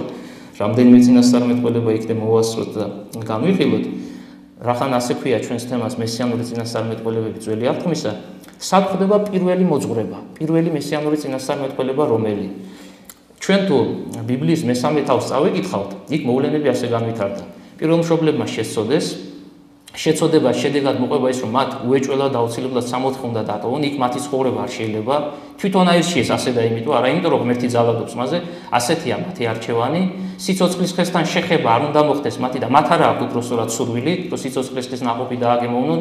სიცოცხლის ხე, როგორც ამას მამები განგვიმარტავენ, თავად უფალი ღმერთია. ჩვენ ბიბლია არა მხოლოდ პირდაპირ უნდა გვესმოდეს, არამედ გადატანითი მნიშვნელობითაც უნდა ვგებულობდეთ შინაარს მისგან. ეს სხვა თემაა, ხა ძალიან ცეთი სიღრმისეული სასაუბრო თემაა და შეიძლება ძალიან დიდი დრო წაგვართოს, ამიტომ ამ ხარეს შევეშვათ ამ ნაწილს. ესე იგი, რა არის აღწერილი მესამე თავში? ღმერთი განუსაზღვრავს ადამიანსა და ევას, რომ მათ სამოთხე უნდა დატოვონ. და იქ მითითებულია ადამიანს რაში, რომ გველი დაიწყევლა, მიწაზე უნდა იხოხოს, ასეთი მითითება გახსოვთ ალბათ. ევა დაიწყევლა და წყევლის არსირაში მდგომარეობდა. ტკივილებით შობდა საკუთარ შვილებს, ამავდროულად დაქვემდებარებული იქნებოდა საკუთარ ქმარზე და ადამიანს ეძლევა მითითება, რომ საკუთარი ოფლით მოიპოვებს პურს არსობისას, არა? აი ამის შემდეგ უკვე პირველ წინასწარმეტყველებას მესიანურ სამოთხის ბაღში თავად უფალი აცხადებს და რას გულისხმობდა? ერთი წინადადებაა, სულ ძალიან მოკლე ფრაზა, დადგება დრო, როდესაც დედაკაცისაგან შობილი, პერიფრაზი ხა თანამედროვე ქართულზე, როდესაც დედაკაცისაგან შობილი გველს თავს გაუსრეს, ასეთი სიტყვები წერია, ხოლო გველი მას, ესე იგი დედაკაცისგან შობილს, თესლი დედაკაცისა ძველი ქართული ასე გადმოცემული, ქუს დაუგესლავს. ამი დასრულდა და ჩვენმა პირველ მშობლებმა სამოთხე დატოვეს და ახალი ცხოვრება იწყება სამოთხის გარეთ. აი პირველი მესიანური წინასწარმეტყველება თავად უფალმა ღმერთმა გააჟღერა და როგორც უკვე გითხარით, ეს არის ის სიტყვები, რაც ეხლა ჩვენ ვახსენეთ. მაგრამ როგორ უნდა გაიგებოდეს? რას ნიშნავს ეს ყველაფერი? მოდით ახლა მივყვეთ ძალიან მოკლე დროს წაგართმევთ და მე სხვა ნაწილზე გადავალთ. ვინ არის დედაკაცი და ვინ არის მისგან შობილი? დედაკაცი არის საეკლესიო განმარტებები, რომ ნახოთ ყოვლადწმინდა ღვთისმშობელი. მისგან შობელი ბუნებრივია. აქ ძალიან ცივი ღრმა განმარტებები ამას არ ჭირდება ლოგიკურად რომ მომყვეთ ეხლა ამჟელობაში თქვენ თვითონ გამცემთ პასუხებს. მისგან შობელი ვინ უნდა იყოს? რა თქმა უნდა, განკაცებული ღმერთი მაცხოვარი სამების მეორე ჰიპოსტაზი, რომელსაც მიიღო ადამიანური ბუნება და წუთისოფელში მოვიდა. და სწორედ ის, ესე იგი, დედაკაცისგან შობელი გველს თავს გაუსრეს. გველი ვინ არის? გველი არის ის არსება, რომელმაც დიდწილად შეუწყო ხელი ადამიანის დაცემას. მართალია ადამიანს თავის პიროვნული ნება ჰქონდა, მაგრამ გარეგანი ფაქტორი მისგან მოდის. მაცდუნებელი ამ შემთხვევაში გველია, დასაბამიერი გველი, როგორც ამას ეკლესია უწოდებს, არა პირდაპირ გაგებით უსულო არსება ეს გველი, რომელიც დახოხავს დღევანდელ დღეს ჩვენ რაც ვიცით, არამედ სატანა, დემონი, დაცემული სული, რომელმაც აცდუნა ადამიანი, სიძულვილის გზით აცდუნა ადამიანი. ესე იგი, მას შეემუსრება თავი, ეს მითითება, მაგრამ ამაზე მოვლენები არ ჩერდება. თავად ეს გველი, თავშემოსვლილი გველი, მას, ესე იგი, დედაკაცისგან შობილს ქუსლს დაუგესტავს. ასეთი მითითება უკვე დასასრულ ნაწილში, არა? ქუსლის დაგესვა რას ნიშნავს? ჩვენ რომ ნახოთ საეკლესიო ლიტერატურა, ნუ განმარტებები, იმდენი მოსაზრებაა გამოთქმული აი ამ ერთ მოხსეთა მე რაც გითხარით, თან განსხვავებული მოსაზრებები, თუმცა ეს განსხვავებულობა არ ნიშნავს ერთმანეთთან დაპირისპირებას. ეს განსხვავებულობა პირიქით, ისინი ერთმანეთს ავსებენ, ეკლესიის მამები როცა განსხვავებულად განმარტავენ და ეს არის ერთი სრული სისავსე საეკლესიო მოძღვრებისა. მაგრამ მე ამ ყველა მოვლენას არ შევეხებ, ერთი რაღაცის თქმა მინდა. ქუსლის დაგესვლა ერთ-ერთი კომენტარისთან თანახმად ასე განიმარტება. ქუსლი როგორც სხეულის დამაბოლოებელი ნაწილი ადამიანია რა და ქუსლი ბოლოვდება ადამიანის სხეული. მიანიშნებს ჟამთა აღსასრულს, ესე იგი იმაზე, თუ როდის მოხდება მაცხოვრის განკაცება. ჟამთა აღსასრულში რა იგულისხმება? აი ძველი აღთმა როდესაც დასრულდება, სწორედ მაშინ მოხდება ღმერთის ადამიანის სახით მოვლენება წოთის სოფელში. ეხლა აქ ისმის კითხვაა. ამ საკითხთან კავშირშია და აქედან გამომდინარე. რატო მაინც და მაინც პირველ საუკუნეში მოხდა განკაცება, როგორც ამას აი ბიბლიური მუხლი მიგვიტირებს, ჟამთა აღსასრული. რატო მაინც და მაინც პირველი და არა მაშინვე? თუნდაც აი ადამი როცა გამოიდევნა 60-დან, ან ძველი წელთაღრიცხვის მე-20 საუკუნე, ან მე-10 საუკუნე. რატო მაინც და მაინც პირველი საუკუნე? საეკლესიო სწავლების თანახმად ღმერთი განკაცდა მაშინ, როდესაც და ამას უკლებლი ყველა სახელმწიფოში ნახავთ თქვენ, რაც ნებისმიერი რომელი რაენოვანიც არ უნდა იყოს, ღმერთი განკაცდა მაშინ, როდესაც ყველა სახის ცოდვა წარმოაჩინა კაცობრიობა. აი, როდესაც ბოროტებამ თელი სისავსი თავისი თავი გამოავლინა, ღმერთის განკაცება მაშინ მოხდა. ბოროტების თელი სისავსით გამოვლენა რას გულისხმობს? იმას, რაც რითიც მე დავიწყე საუბარი. ყველა ცოდვა აი ან თავისი პიროვნულინებით არჩეული, ან ეშმაკისაგან შთაგონებული, როდესაც კაცობრიობა მოიმოქმედა, უფალი მაშინ განკაცდა. რატო? კითხვა ისმის ასე. რატო დაელოდა ყველა ცოდვის გამოშლას? აი რაღაცა მოვლენა რო ხდება რა? მოვლენას ახლავს თავისი მოვლენა შედგება რამდენიმე ცალკეული შემთხვევისაგან, ხო? ეს შემთხვევები ყველა ბოლომდე უნდა წარმოჩენილიყო და მეორე უნდა მომხდარიყო განკაცება. რატო? კითხვა დავსვით ასე. პასუხი შემდეგია. თუ კი მოხდებოდა ისე რომ ღმერთი ცოტა უფრო ადრე მოვიდოდა, და იმის შემდეგ კიდე ახალი ცოდვა იშვებოდა ადამიანის გონებაში, ან უკეთური ძალის გონებაში, მაშინ ის ცოდვა განუკურნებელი, განუკურნებელი დარჩებოდა. ამიტომაც, აი, როდესაც დაასრულა უკეთურებამ თავისი, ასე ვთქვათ, შემოქმედებითი მოღვაწეობა ბჭყალებში, რა თქმა უნდა, ცუდი გაგებით, როდესაც როდესაც თელი სისავსით გამოავლინა თავისი თავი, უფალი სწორედ მაშინ მოვიდა და უკლებლივ ყველა ყველა დაცემული მდგომარეობით გამპირობებული გაუკუღმართება ადამიანში არსებული, მან საფუძვლიანად აღმოფრა.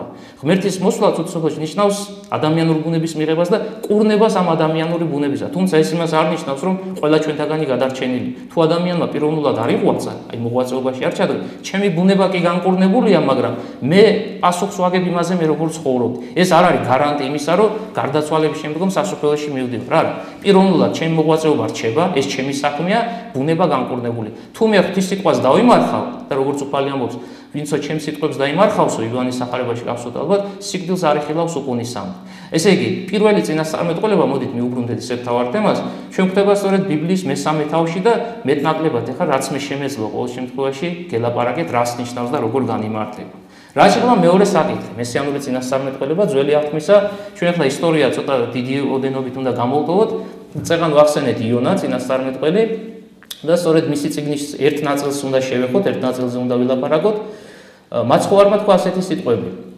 როგორც იონა იმყოფებოდა ვეშაპის წიაღში 3 დღე და ღამე, ასე მოუწევს ზეკაცისას დედამიწის გულში ყოფნა. ესე რა მიანიშნა უფალმა, რომ იონას თავს გადამხდარი მოვლენა და მე ისტორიას მოკლედ შევეხები და მე განმარტებასაც გეტყვით, იონას თავს გადამხდარი ისტორია, აი სამდღიანი ვეშაპის წიაღში ყოფნა, ეს არის წინა სახე იმისა, რაც თავად უფალს შეემთხვევა. და რა დაემართა იონას? ეხლა არ ვიცი თქვენ ეს წიგნი წაგიკითხავთ თუ არა? მოვლენები ასე ვითარდებოდა. უფალი გამოეცხადა წინასწარმეტყველს ძველი წელთაღრიცხვის მე-9 საუკუნეა, ამ დროს სოფლიოს უძლიერესი იმპერია არის ასურეთი.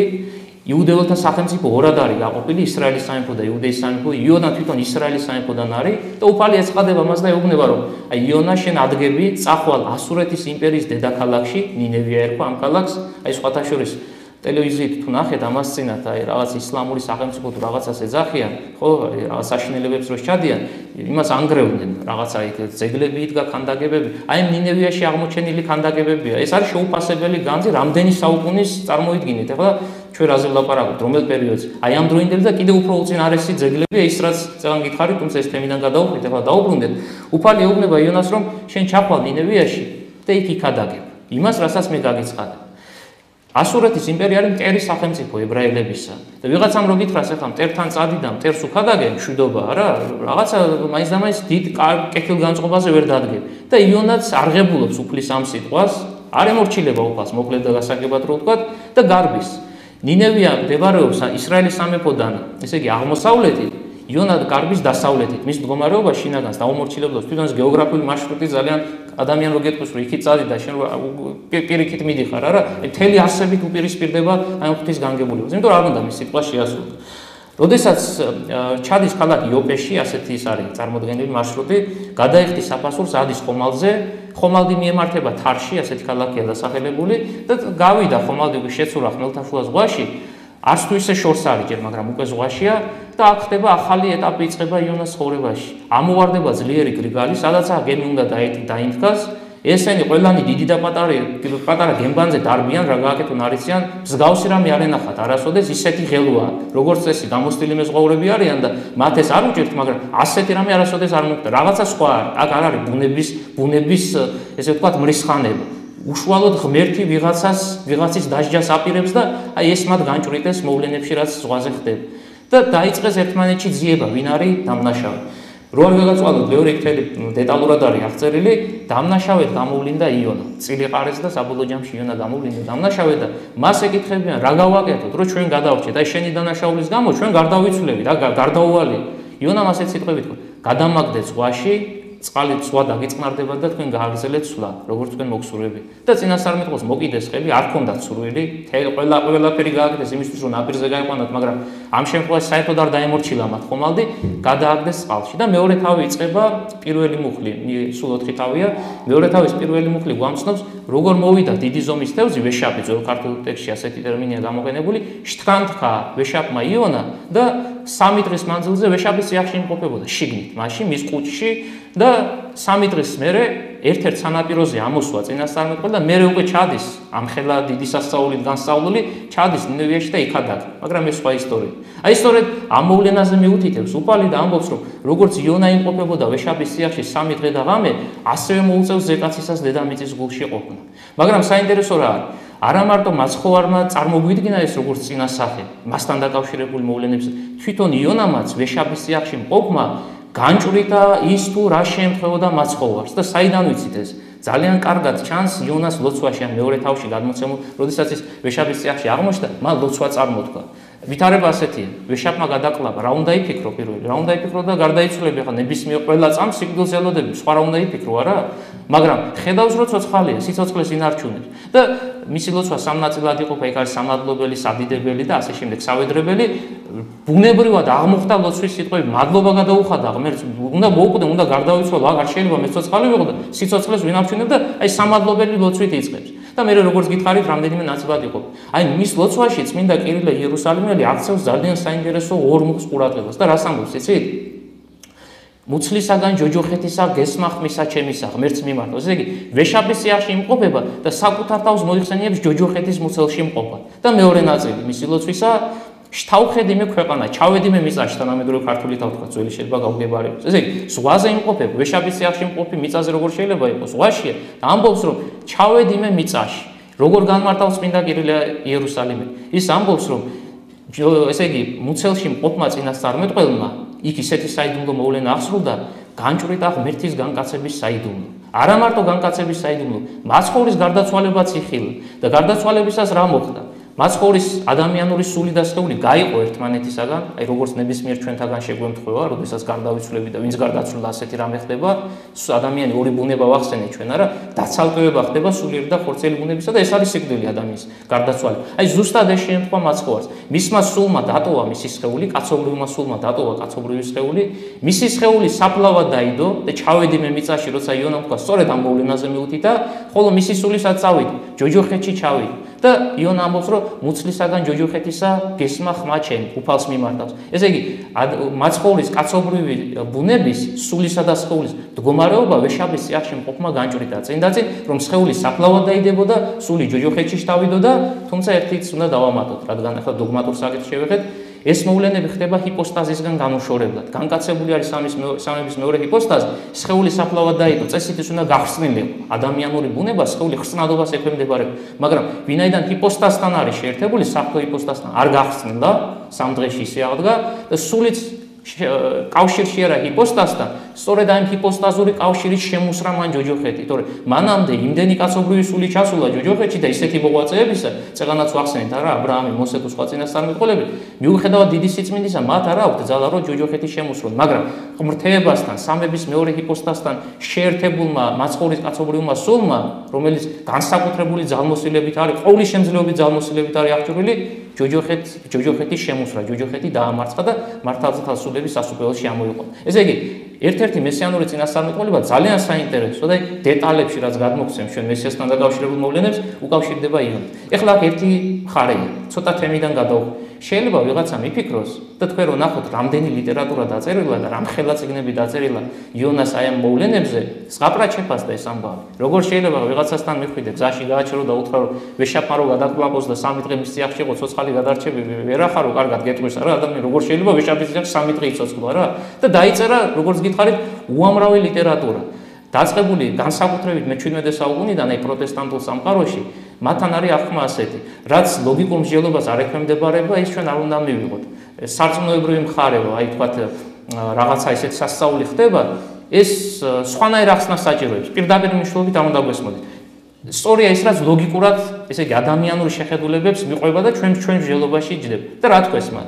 ესო პირდაპირ კი უნდა გვესმოდეს რომ ვეშაპმა გადაყლაპა ერთ მაგალითს გეტყვით არამედო იონას მართლა შეემთხვა ეს ისტორია უფალმა ნინევში გადაგება დაავალა ხომალზე ავიდა გარბის ფარში ხომალდიდან გადააგდეს წინასწარმეტყველი მაგრამ რა მოხდა? გამოიარა მეორე ხომალდმა. ამ ხომალდმა აიყვანა თავის გემბანზე იონა და სამი დღის მერე ნაპირზე გადასვა და რა ერქვა ამ ხომალს თქვენ როგორ გონიათ ვეშაპი ერქვა სახელად და აი ეს ისტორია გადმოცემული არაფეშუაში ცოცხალი ვეშაპი აქ არა.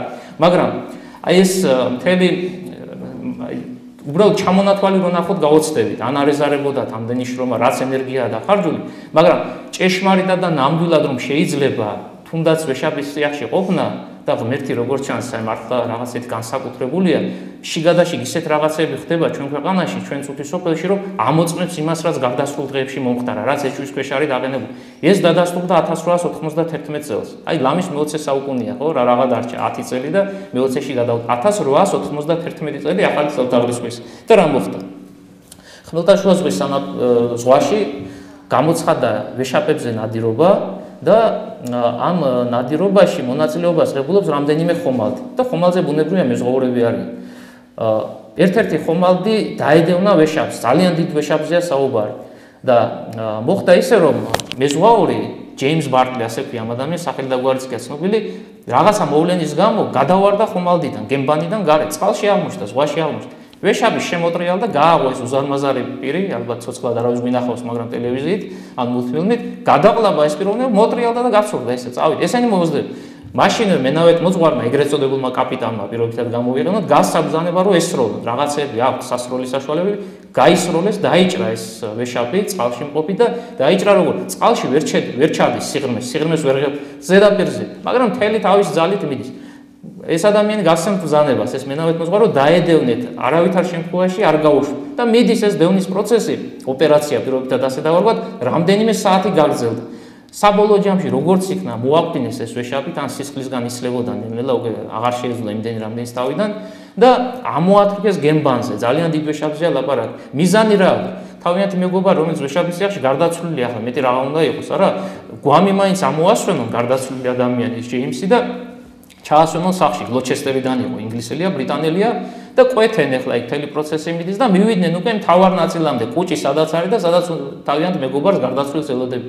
გაყვეთეს კუჭის არე, ხედავენ ცოცხალი კაცის შიგნით. გეუბნებთ რომ რამდენიმე საათი გაგრძელდა დევნის ოპერაცია და აი ამით კიდევ ერთხელ დადასტურდა, რომ თურმე იონას ვეშაპში ყოფნა რაც გითხარით რომ ძალიან დიდი კრიტიკის ქვეშ დადგა და 1000 განმარტებაა მოფიქრებული, მე მხოლოდ ერთი გითხარით რომ იმდენია რომ გაოცებულები დარჩები, აი ეს ღაბრებია მთელი შეთხზული თავის თავში ჭეშმარიტება სადაა შესაძლებელი ყოფილი. ერთადერთი რაც ამ კაც შემთხვევა, რახან შევეხეთ მის პიროვნებას, დაბრმავდა. თვალის ჩინი დაკარგვა, ოღონდ მე არ ვიცი ახლა ეს კუჭის სვენის ზემოქმედება იყო თუ შიში ახლა ვეშაპი ვეშაპი გაქანებული რომ მიდის და მის კუჭი რომ იმყოფები, მაინც და მაინც სასიამოვნო განცდები არ გექნება. აი რამ დააბრმავა, რომელმა მოვლენამ არ ვიცი, აი სიმრმავე გამოყვა და 15 წელი იცხოვრა. ერთი იონა ვიცით ამ ვითარებაში და მეორე აგერ ჯეიმს ბარტლი ითიც ეს ჭეშმარიტება დასტურდა. ასე რომ ერთ-ერთი ღრმა და განსაკუთრებული მესიანური წინასწარმეტყველება ეს არის იონას ციკში გადმოცემული ის საკითხები, რაც მე ახლა თქვენ გითხარით. რაც შეეხება შემდეგ წინასწარმეტყველს. აა ესაიას წიგნი გვერდს ნამდვილად ვერაულით. ესაია გახლავთ აი მწერალ წინასწარმეტყველთა შორის ერთ-ერთი ყველაზე უფრო გამორჩეული და განსაკუთრებული და მისი გამორჩეულობა თუნდაც იმით ჩანს, რომ ახალი აღთქმის ეკლესია მას ძველი აღთქმის מחარებელი უწოდა. מחარებლები ჩვენ ამდენი ვიცით 4 კაცია, სულ არა, მათე, მარკოზი, ლუკა და ივანე. მათ გვერდზე და ესაია არის მეხუთე מחარებელი, ძველ აღთქმაში მცხოვრები. რატო უწოდა? ყველა მოვლენა მაცხოვრის ქვეყნიურ ცხოვრებასთან დაკავშირებული, აი უფალმა რაც აღასრულა რა 30 წლის მერე როდესაც ნათელი მიიღო ივანესაგან, მის ციკში 66 თავია, წეგანაც ვახსენეთ ჩვენ, თავიდან ბოლომდე ყველაფრის შესახებ არის წინასწარმეტყველები. დაწყებული შობიდან დამთავრებული მკვდრეთით აღდგომით, ამაღლებით, სულიწმინდის გარდამოსვლით არ დარჩენილა ეპიზოდი, რასაც ეს ადამიანი ისაია არ შეეხო და აი ამიტომაც ეკლესიამ განსაკუთრებული ადგილი განუკუთვნა და როგორც კიდევ ერთხელ გამომეორდები, ძველი აღთქმის מחარებელი ამ სახელით მოიხსენიებენ მას. ეხლა გამომდინარე იქიდან, რომ ბევრი წინასწარმეტყველება აქვს, ჩვენ ესე დეტალურად ვერ ჩამოვყვეთ, უბრალოდ ორი საკითხი უნდა გავიხსენო, ორი საკითხის შესახებ უნდა გითხრათ, ძალიან მოკლედ ისიც. პირველი, ყველაზე უფრო გამორჩეული ჩემი თვალსაზრისით, ეს არის მისი მეშვიდე თავის მე-14 მუხლი, იქ თელი მოვლენებია, ისტორიული საკითხებია, რაღაც ორ სახელმწიფო შორის დაპირისპირება, ამას აღარ გიყვებით, ახლა მარტო ამაზე დაგჭირდება შეიძლება, ამიტომაც დავანებოთ, უბრალოდ ფრაზას გეტყვით, ფრაზას, რომელიც აქამდეც გავაჟღერეთ, მან სიტყვა სიტყვით გამოთქვა თუ როგორ გამithარდებოდა მოვლენები მომავალში. კერძოდ, ცნობილი სიტყვები რაც მათემატიკებელმა დაიმოწმა შემდეგ სახარებაში. ახლა მიუდგეს ქალწული შვეზზე და უწოდიან სახელი მისი ემანუელი. ესე იგი, რა იხილა წინასწარმეტყველმა? იხილა ქალწულისაგან ზიშობა. ქალწულმა ძე როგორ უნდა შვას, არა? კითხვა ის შეუძლებელი მოვლენაა. ყოფილი გაგები ჩვენთვის ეს წარმოუდგენელი. ესე იგი, მან იხილა ღმერთის განკაცება და ფაქტობრივად საეკლესიო დოგმატი ღვთისმშობელთან დაკავშირებით, მარადის ქალწულება მის. აგერ ესაა საუკუნეებით 734 წელს ხდება, გამოფლილიც კი მეცნიერებს დადგენილია იქ რაღაც მოვლენებზე ამიტიდება. ეს მერვე საუკუნის მოღვაწეა, მერვე მეშვიდე საუკუნეები 734 წელს გამოთქვა დოგმატი ყოვლადწმინდა ღვთისმშობლის შესახებ, რომ ის ქალწული შობდა ძეს და ბუნებრივია ქალწულისაგან შობილი ძე განკაცებული ღმერთი უნდა იყოს, სხვანაირად ასე ადამიანის ჩაულებრივი ადამიანის შობა ვერ მოხდება. ეხლა მე უფრო ღრმად არ მივდივარ, ამ ფრაზასაც იმდენი ამბები მოყვა, რომ ამას აღარ ვეხები, ვინმეს თუ მე პირადად დაინტერესება გექნება ჩემი ლიტერატურა მიგიდითოთ, მეორე განსაკუთრებული წინასწარმეტყველება. ეს არის მისი წიგნის 53 თავი. ნეტარი ერონიმეს შეფასება უნდა მოვიტანოთ. ასეთ სიტყვებია ამ დიდი მოწყვრისა.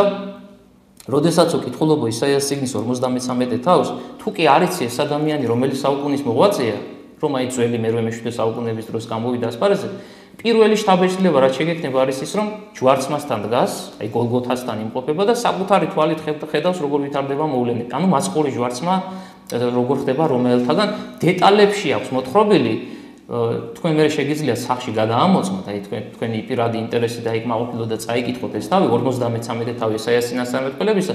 საუ ერთადერთი რაც დანაკლისია პირობითად ასე დავარქვათ, ჯვარს არ ახსენებს. ერთი ეს კია. ჯვარი არ უხსენებია, რომ დანარჩენი მთელი ეს მოვლენები აღწერა. მათ შორის ამ 53 თავში არის ჩართული წინასწარმეტყველება, რომელიც თავად უფალმა განუკუთვნა თავის თავს და მე ლუკას ახარებაშიც არის გაჟღერებული ბოლოში ავაზაკთა თანა, აი ავაზაკებს შორის მოქცეული მასხოვრის შესახებ, რომ მარტო კი არ მოხდებოდა ჯვარს. მარჯვნივ მარცხნივ ავაზაკები, ესეც კი ანა წინასწარმეტყველება. და საოცრება რა არის, იცით? მან დაინახა ის, ვინც ევნებოდა, ვინც იტანჯებოდა და ამბობს ასეთ სიტყვებს. არათუ საკუთარი პიროვნული შეცოდებების გამო ავნებული და გვემილი. ჩამოთვლილი აქვს როგორ სემენ, როგორ შეურაცხყოფას აყენებენ, როგორ აფურთხებენ, როგორ წვერებს გლეჯენ და ასე შემდეგ. არა საკუთარი პირადი შეცოდებების გამო, ჩვენი უკეთურებების გამო, ჩვენი დაადანაშაულებების გამო.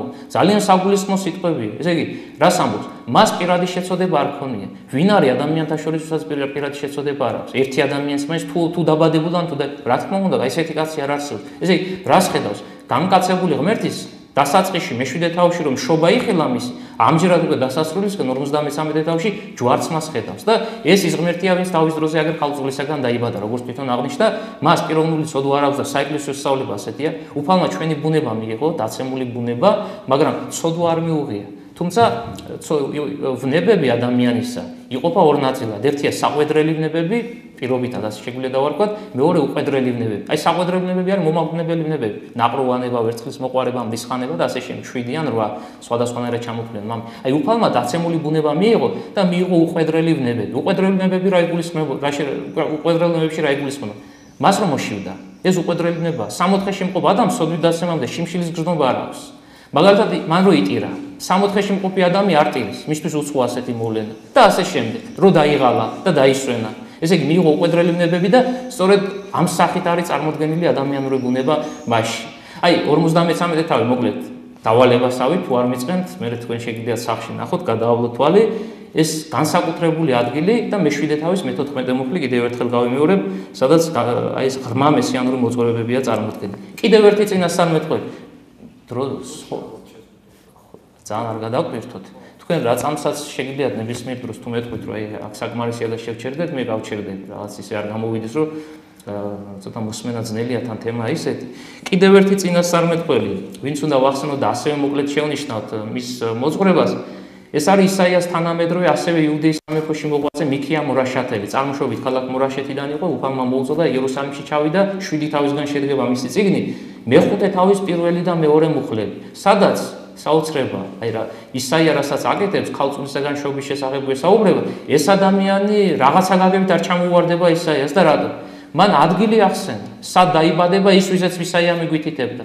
და მათესახარებაში გემახსოვრებათ ალბათ მოგვები ჩამოდიან აღმოსავლეთიდან. ვარსკვლავი მოუწყვით მათ წინ, მაგრამ იერუსალიმიდან რომ მოვიდნენ ვარსკვლავი გაუჩინა და აღარ იციან სად წავიდნენ ახლა. მანამდე იცოდნენ, არა ვარსკვლავის საშუალებით. მიდიან მეფესთან, მეფე ეროდესთან. მას უნდა კითხო. და კითხვა არის ასეთი: სად დაიბადა იუდეველთა მეუფე? ანუ მეფე. ჰეროდე შეძრძუნდება. თვითონ არის მეფე ებრაელებსა და ებრაელთა მეფე როგორ უნდა დაბადებული? ყან ვინ არის ასეთი პიროვნი და მაშინ მოიწევს რჯულის მოძღვრებს. ადამიანს ვინც ძალიან კარგად იცის მინდა წერილი ის ადამიანები ეუბნებიან რომ ბეთლემში უნდა დაბადებულიყო რადგან მიქას სიგში ასია დაწერილი. აი აქ ესე იგი მიქას სიგნა ჩვენ გებულობთ რომ მესია ვიზეც ძველ აღთქმაში არაერთხელ არის წარმოქმნილი მოძღვრება ბეთლემში დაიბადება. და შენ ბეთლემ სახლი იგი ეფრათას ასეთ სიტყვები მაგრამ ამაზე არ შეჩერებულა საოცარი სიტყვები დაასრულა თავის წინასწარმეტყველებ და გამოსავალნი მისნი დასაბამითგან დღეთაგან საუკუნოისად ასე დაამთავრა ესე იგი ის ვინც ბეთლემში დაიბადება მისი გამოსავალნი დასაბამითგან დღეთაგან საუკუნოისად ასე სრულდება.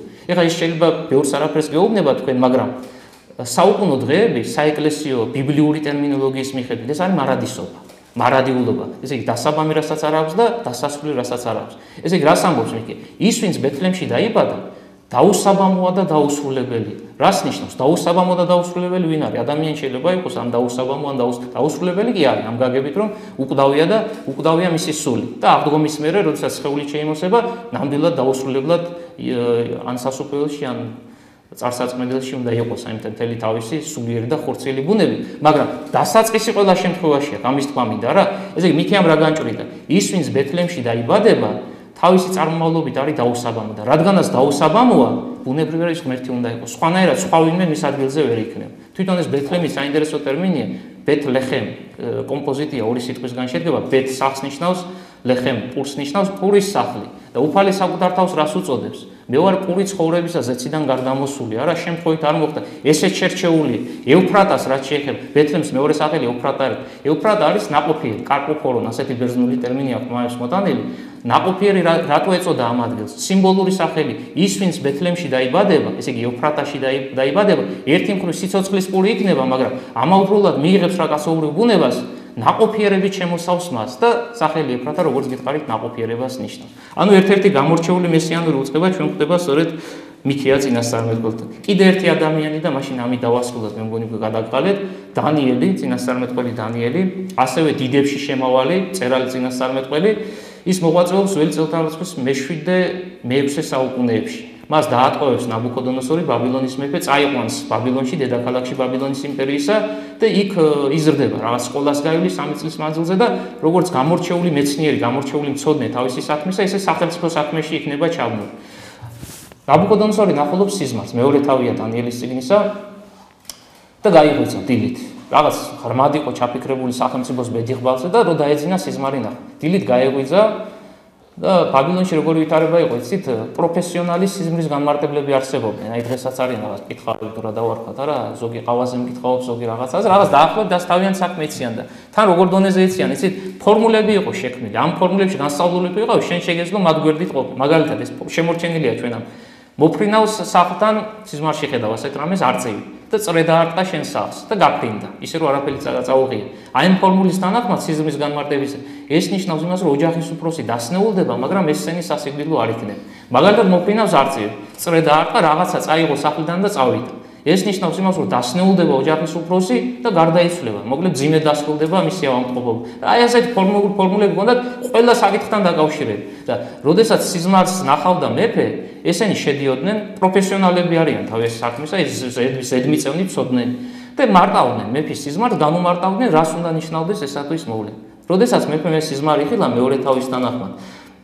მან მოიწვია ეს ადამიანი პროფესიონალი განმარტებლების სიზმრების. და ასეთ სიტყვებს ეუბნება. მე წუხელ სიზმარი ვნახე და ეხლა რას თქვენი ვალდებულება ის უნდა გააკეთო. ესენი ხალისით მათთვის ეს არ არის არანაირი სირთულე, ელოდებიან ეხლა რა სიტყვის მეფე ნაბუქოდონ. და აქ უცნაურ ამბავს ეუბნება მეფე. ისეც რაც არც მენია თაკამ. მე სიზმარი დამავიწყდა, არ მახსოვს შინაარსი რა ვნახე ხდება ასეთი რამე. ხო სიზმარი რო ვნახე ჩვენც შეიძლება შე სიზმარი რო ვნახე კი ვიცი, მაგრამ შინაარს ვერ ვიხსენებ ამ სიზმრის. რატო არ ვიცი ახლა ამის განმარტება, მაგრამ არ მახსოვს შინაარსი სიზმრისა, ჯერ შინაარსი გამახსენეთ. მე როგორ განმარტებას წარმოადგენ? ეს რო გაიგონე ზელდა ეცა. მეფეო, დედამიწაზე ადამიანი არ დადის, ვისაც ამის გაკეთება შეეძლოს, ერთადერთი თქვენი ამას შეძლებს ღმერთი უნდა იყოს. სხვა შემთხვევაში ჩვენ უძლურები ვართ. და მეფე გამოსცემს ბრძანებას, ეგ თქვენი მე მატყუებთ, სხვა დროსაც მოგიტყუები ვართ, არაფრის ძალა თქვენ არ გქონიათ, არაფრის შემძლენი არ ყოფილიყარ, გამოსცემს ბრძანებას, რომ ყველანი ესენი დახოცო. აი ვინც მოგვება და მოგვები ქვიათ მათ, ყველა მოგი ბაბილონის იმპერიაში დახოცილი უნდა იყოს. და ამის შესახებ გებულობს დანიელი. დანიელი სამეფო სასახლეში ცხოვრობს. და მაშინვე მივა. დაცვის უფროსი ასე წერია ნაბუქოდონოსორის დაცვის უფროსთან და სწავს მეფესთან შეხვედრას. და ხდება მათი პირდაპირ პირისპირ ურთიერთკავშირი დანიელი ეუბნება მას ასე ციტყვებს რომ მომეცი დრო ერთი ღამე. აი ხვალდილით მოვალ შენთან და ამ სიზმის განმარტებას მე გეტყვი. ჯერ გაგახსენებ და მე განგიმარტავ კიდევაც და ნაბუქოდონოსორი კმაყოფილი დარჩება მოკლედ იმ ღამეს ლოცულობენ დანიელი და მისი მეგობრები ანანია ზარია მისაელი ასე მოხსენებული სამი პიროვნება ოთხნი გადაასახლა ნაბუქოდონოსორმა თავის დროზე 600 წელს და მათ ეს სიზმარი გაეცხადება. დანიელს გაეცხადება დანიელს აქვს ეს ნიჭი მის მეგობრებს სიზმრების განმარტების ნიჭი არ აქვს. მეორე დღეს მიდის მეფესთან და ხდება ისევ შეხვედრა და დანიელი ეუბნება მეფო ის სიზმარი უკვე ჩემმა ღმერთმა გამომიცხადა რა ჩემნა. და სიზმრის შინაარსი ასეთია. მეფეს უნახავს ერთ-ერთ ველზე კერპი უზარმაზარი კერპი რომელიც სხვადასხვა რა დავარქვათ ამას ნივთიერებისგან იყო გამოქანდაკებული. კერძოდ, მისი თავი ოქროსი იყო, სიზმრის შინაარსი ასეთია, ესე იგი მკერდი და ხელები ვერცხლის, მუცელი და თეზოები სპილენძის და ქვედა კიდურის ქვედა ნაწილი ნაწილობრივ თიხის, ნაწილობრივ რკინის. ასეთია შინაარსი სიზმრის. ამის შემდეგ ადამიანის გამოსახულება აქვს. ამის შემდეგ უკვე იქვე გვერდზე მთავდებარეობდა ამ თას ხელის უკრებად ასეთი მითითება ტექსში მოწყდა ლოდი, რომელიც კერპს დაეცა თავზე, კერპი შეიმუსრა თავზე არა ბოდიში, ფეხებზე დაეცა. ესე ქვედა კიდურის ქვედა ნაწილზე, თიხი და რკინი წარმოქმნილ ნაწილზე შეიმუსრა ეს კერპი, რაღაცა რაღაცა დაეცა ზეთ, ნაწილები დარჩა შემოსვლისა, ძლიერმა ქარმა დაბერა, მთელი ეს ნაწილები გაფანტა, ეს ლოდი ზედდაცემული კერპზე გაიზარდა, მთელი სამყარო მოიცვა და მისი მეუფება უკუნისამდე აღარ დასრულდა. ასეთი სიტყვებია სიზმრის შინაარსი არის ასეთი. ეს რომ მოისმინა ნაბუქოდონოსორმა და გაახსენდა უკვე სიზმარი, არა? სხვადასხვა საინტერესოა. რომ მოეტყუებინათ იმ ადამიანებს თუ არ გახსოვს ახლა და მithumedes ჩემი სიცოცხლის ყოფნა არ ყოფნის საკითხი გებათ ისე გავდგები და მოგატყუება ეს ნახე და მე რაღაცა ტყუილ განმარტებას მოვიდა მაგრამ როგორც ივანე ოქროპირი ამბობს ეშინოდათ ვაი და მეფეს სდის და ძალიან კარგად ახსოვს და რო უთხრა ტყუილის სიზმარი მე საერთოდ ეხლა ხო ყვდებიან ბრძანება ასეთია გამოდანი იქ შეიძლება გაცილებით რომ ძიმე შედეგები დადგეს იმ გაგებით რომ ოჯახის წევრები და სანათესაო და არავინ არ გარჩევს საერთოდ ცოცხალი და ამიტომაც ვერ ბედავ მაგრამ აი დანიელმა როგორც კი განმარტა დაუბრუნდეთ ისევ თემას მათ მეფეს გაახსენდა. გაახსენდა რომ მართლა ეს ნახა, მაგრამ ხედავს რომ ეს არ არის ჩვეულებრივი ყოფითი მოვლენა. აი ამ ყოფითი მოვლენის მიღმა რაღაც დიადი და გასაოცარი საიდუმლოა დამალული. და ეკითხება, აი ახლა უკვე განმარტება მით. და დანიელი იწყებს. ოქროს თავი მეფეო ასეთ სიტყვებით მიმართავს, ეს არის ბაბილონის იმპერია და უშუალოდ შენახა. ესე იგი, ეს კერპი თავის თავში გამოსახავს სახელმწიფოებს, თუ როგორ განვითარდებოდა ისტორია. ესე იგი, ოქროსთავი ეს არის ბაბილონის იმპერიის სიმბოლო. შენ როდესაც აღარ იქნები და შენი სახელმწიფო ახალი იმპერია წარმოჩინდება ასპარეზზე, ამ შემთხვევაში კერნითა და ვერცხლის ხელები წარმოქმნილი, ორი ხელი, მარჯვენა მარცხენა ხელი, დანიელი კარახსენებს, მაგრამ მოდი ჩვენ შევმატოთ, ჩვენთვის ისტორია უკვე ცნობილია, სპარსეთის იმპერია. შემდეგ მუცელი და თეწოების სპილენძისა, სპარსეთი როცა აღარ იქნება ბერძნულ მაკედონური იმპერია, ეს ცნობილია, ასე ვითარდებოდა მოვლენები და ბოლოს ესე ქვედაკიდურის ქვედანაწილი თიხადარკინა რაც არის წარმოქმნილი ეს არის რომის იმპერია თანმიმდევრობა ასეთია. ერთმანეთს შეენაცვლება ეს ოთხი სახელმწიფო. აი სწორედ მეოთხე სახელმწიფოს დროს მას დაეცა ამ ქვედაკიდურის ქვედანაწილს დაეცა თიხადარკინის წარმოქმნილ ნაწილს ქვა სამყაროზე ახალი სამეფო დამყარდება დაფუძნდება ისე რომ თელ სოფლიოს მოიცავს და მისი მეუფების დასასრული აღარასოდეს არ იქნება აი ეს თქვა დანიელმა და დასრულდა ეხლა აქ ისმის კითხვა მაინც ბუნდოვანება დატოვა, ბოლომდე მაინც არ განმართა. რაღაც რაღაცების კითხვის ნიშანი უნდა შეიტანა. რატო არ განმართა ბოლომდე? წმინდა იოანე ოქროპირი ამბობს, რომ ის ელაპარაკება წარმართული შეხედულებებით გაზრდილ და გამშვალულ ადამიანს, ნაბუქოდონოსორს ამ შემთხვევაში, დანიელს რო სრული სისავსით მისთვის მოეთხოვა, რას გულისხმობს ეს სიზმარი, მან იმდენი უთხრა, რამდენიც ჭირდებოდა ამ ადამიანს, რისი დატევნა შეეძლო. მაგრამ სრული სისავსით რო გადმოეცა, ეს კაც ვერაფერს ვერ გაიგებდა. აი სულიერ მხარეს ამ სიზმრისას ვერ გაიგებდა და ამიტომაც მხოლოდ ამ მხოლოდ ყოფითი მოვლენები შემოიფარდა. სინამდვილეში რო გავიგოთ შინაარსის სიზმრისა, წმინდა ოქროპირი ამბობს, რომ ჩვენ ამ შემთხვევაში კიდე უნდა დავამატო დანიელის განმარტებას ახალი სულიერი მხარე იგივე სიზმრის. და რას ამბობს ოქროპირი, რომ ლოდი, რომელიც გადმოგორდა მთიდან, სიმბოლო არის უпроსტორად მთა, რომელზეც ლოდი იმყოფებოდა, მოდი ასე დავიწყოთ, სიმბოლურად განასახიერებს ყოვლადწმინდა ღვთისმშობელს. ლოდი, რომელიც მთაზეა და მთიდან ხდება გადმოგორება, ესე იგი ლოდის წამ ჩამოვარდნა და დაცემა უკავშირდება მთიდან გადმოგორებას, არა? ეს ლოდი ვისი სიმბოლო იქნება? მაცხოვრისა განკაცებული ღმერთისა. ყურადღება მიაქციეთო იმას თუ სადეცემა რომელ ნაწილზე შეეულის ამ კერებს.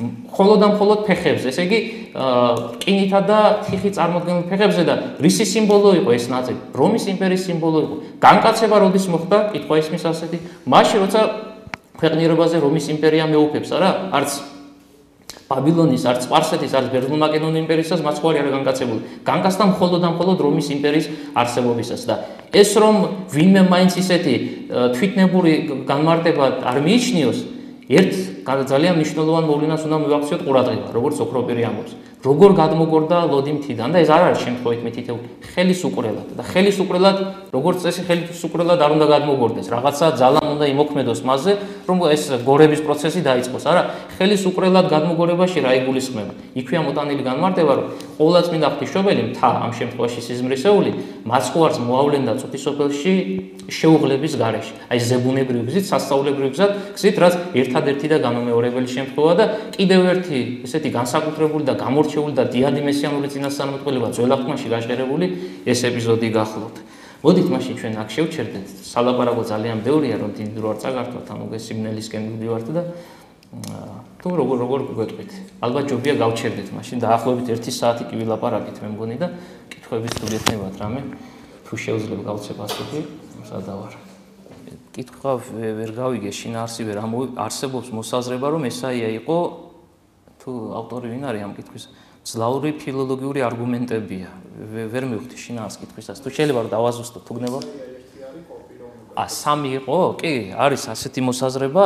სწორი ხარ დიახ ესე იგი ვითარება არის ასეთი. მას აქვს ციკლში განმოცემული ისეთი მოვლენები რაც მაგალითად მისი ციგნის 54-55 თავებია ბოლო მუხლი და 55-ის რამდენიმე მუხლი სადაც სახელდებით არის მოხსენიებული მეფე კიროსი. კიროსი, რომელიც ისაია რო გარდაიცვალა, სადღაცას 2 საუკუნის მერე დაიბადა, 150 წელი 200 წლის მერე დაიბადა. აქედან გამომდინარე, ერთ-ერთი ნაწილი კომენტატორების კომენტატორებსა დასავლურ სამყაროში ხდება ეს ვერც ერთ მართლმადიდებელმა მოძღვართან, აი ძველ მამებთან თქვენ ვერ ნახავთ მოსაზრებას, რომ ისაიას ციგნი ისაიას არ დაუწერია და რამდენიმე ნაწილად უნდა დაუყო. დიახ, მოდით მაშინ ცოტა თავიდან რო გასაგები გახდეს. ეს ადამიანები რას ამბობენ?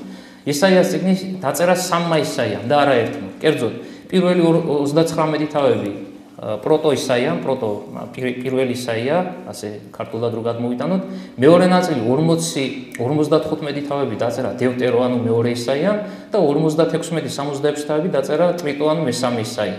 არგუმენტი რა არის? პირველ ნაწილში ის რაც უშუალოდ ისაიას უკავშირდება იმ ისაიას მათი თქმით ვიზე ჩვენ დღეს ვილაპარაკეთ. გადმოცემული არის სწორედ ის მოვლენები რომელ ეპოქაშიც ისაია ცხოვრობდა თანამედროვეებს ელაპარაკება მათ გაუკუღმართებებს ამ ხელს გამოსწორების გზებს დასახავს და ასე შემდეგ. მეორე ნაწილში საუბარია წეგანაც ვახსენეთ მეფე კიროსზე და კიროსსა და ისაიას შორის 200 წელია განსხვავება როგორ შეიძლებაო მერვე საუკუნეში მცხოვრები ისაია საუბრობდეს მეექვსე საუკუნეში დაბადებულ კიროსზე და სახელდებით მოიხსენიებდეს. ცხებული ჩემი კიროსი იქ მითითებულია რომ ნებისმიერი კარიბჭე ნებისმიერი ქალაქი მის წინაშე შეიმუსრება ყველაფერს ყველას ვისაც შეებრძოლება დაიპყრობს და დაამარცხებს ამიტომაც გამოსავალი ასეთი ნახეს. ეს ისაია მეორე ნაწილისა 40-55 თავების დამწერი ცხოვრობდა ბაბილონის ტყვეობის პერიოდში მომსწრე არის კიროსისა, მის პერიოდში დაიბადა, დაიბადა რა უბრალოდ, მის პერიოდში დაიპყრო კიროსმა ბაბილონის იმპერია. ეხლა რა ჩვენ ნახე და ვის შესახებაც ხსმენი, ემის დაწერას ბევრი ამბავი არ უნდა ამ ინფორმაციის. მაგრამ სახელი იგივე ერქვა ამ ადამიანს, ესაია ერქვა.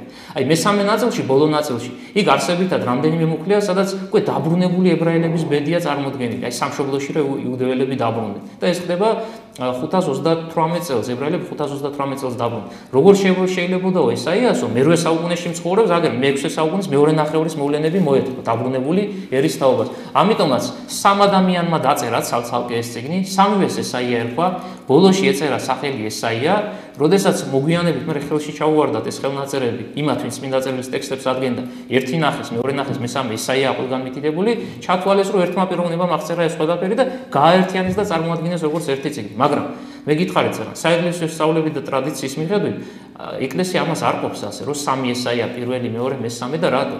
ჯერდი რატო არ შეიძლება კიროსი ეთქვა? სახელდები თუ რატომ მოიხსენიაო? საწინასწარმეტყველო წიგნებიო მაინც ბუნდოვანი არისო? მე ამაზე გელაპარაკეთ იქ არ არის მაინც ბოლომდე გარკვევით რაღაცა კითხვის ნიშნები რჩება ასე სახელდებით მოხსენიება კიროსისა? აგერ მიქიან ბეთლემი ახსენა მაშინ გამოდის რომ არც მიქიას დაუწერია წინასწარმეტყველები მეფეთა წიგნებში გვაქვს ჩვენ ერთი ადგილი როდესაც ასე იგი ერთ-ერთი ადამიანი იუდეიდან ღვთის კაცი როგორც ის არის მოხსენებული ჩადის ისრაელში როცა სამეფო იგაიყო 929 წელს და რასეულნება იორობოამ პირველს პირველ მეფეს ისრაელისას დადგება დრო მე-10 საუკუნეა. მე-10 საუკუნეში ხდება ეს ამბავი. დადგება დრო, როდესაც იუდიაში შვება ადამიანი, რომელსაც სახელად დაერქმევა იოშია, ებრაელ მეფეზეა საუბარი, ებრაელ მეფეზე, რომელიც ტახტზე ავიდა ძველი წელთაღრიცხვის 640 წელს. ესე იგი 929 წელს სახელით მოიხსენია ადამიანი, ვინც 640 წელს გამეფდა. მას სახელად იოშია ერქმევა. აქ თქვენთან ისრაელის სამეფო საზღვრებში გადმოვა, ყველა კერპს და ყველა გაუკუღმართებას შემოსრავს. და თუ ასეთი შემთხვევებია და არაერთი და არაორი, რატო არ შეიძლება ისაიას კიროსი მოიხსენიება? მაგრამ ყველაზე მძლავრი არგუმენტი რა არის, იცით? ამის საპირისპიროდ, ჩვენ თუ ნახავთ ახალი აღთქმის წიგნებს, იქ არის მოტანილი ციტატები, როგორც პირველი 39 თავიდან, ასევე 40-55 თავიდან, ასევე 56-66 თავიდან. არსად არ არის მითითებული, რომ ეს წინასწარმეტყველება თუ რაღაცა მოვლენა ან დევტერო ან ტრიტო ისაიას, ანუ მეორე ან მესაია, ყველგან მითითებაა, რომ ეს ეკუთვნის ისაია წინასწარმეტყველს. ერთ მაგალითი შეგახსენებ. საქმე მოციქულთან მეშვიდე შეიძლება მეშლება თავი აღარ მახსოვს. საჭურის ბატონო? მე ხო აი მერვე თავი. საჭურისი ეტლში ზის და კითხულობს რაღაცა ნაწილს ძველი აღთქმის სიგნებისას და ფილიპე მიდის მასთან ახლოს. და იქ არის ვითარცა ცხოვარი კლად მიგვარა და ვითარცა ტარიგი წინა შემორისვეს ისაიას წინ 53 თავი აი ეს თავი რა ჩვენ ვახსენეთ. და ფილიპე ეკითხება რას კითხულობ შენ? რა არის ეს? და ის მიუთითებს ისაიას წინასწარმეტყველებიდან არის ფრაგმენტი რაც მან ამოიკითხა ესე იგი პირველ საუკუნეში არც კი იყო გამოთქმული რაიმე სახის ეჭვი, რომ ეს უკუთნის 2, 3 თუ 5 თუ 10 ესაიას და ამის ნათელი დასტური. მე გითხარით, აი ესეთი მოსაზრებები შეიქმნა გაცილებით გვიან, აი მე-17 საუკუნიდან მოდის უკვე და ძველ ძველ ძველ ტექსტებში, ძველ განმარტებებში ჩვენ მსგავს ვერაფერს ვერ ხვდებით. იონას დროს სამი დღე სინანულისთვის 40 დღე არის მოსაზრება იქნებ მოგვითხროთ. ხო, ეს ცოტა ეს სხვა თემაა, მაგრამ ვითარება ასეთია, როდესაც ჩავიდა იონა ნინევში, მან ბერძნული ტექსტის მიხედვით იქადაგა ასეთ სიტყვები, კიდევ 3 დღე და ქალაქი ნინევი დაეცემა, ებრაულში წერია კიდევ 40 დღე და ქალაქი ნინევი დაეცემა. ანუ ბერძნულში 3-ია, ებრაულში 40-ია. ან ერთი უნდა იყოს სწორი, ან მეორე, ხო, ორი არ შეიძლება სწორი იყოს. ვითარება არის ასეთ, სინამდვილეში 40 დღე უნდა ყოფილიყო. სეპტუაგინტაშიც კი ნეტარი ერონიმი ასე განმარტავს, მაგრამ ბგერების აღნიშნა როგორ ხდებოდა? იმ დავითნე თუ ხარ თვინმე და იმ საეკლესიო კითხვის წესთან შეხება გაქვს რიცხვები ხდებოდა ბგერების მიხედვით. მაგალითად ა ნიშნავს 1-ს b ნიშნავს 2-ს არა?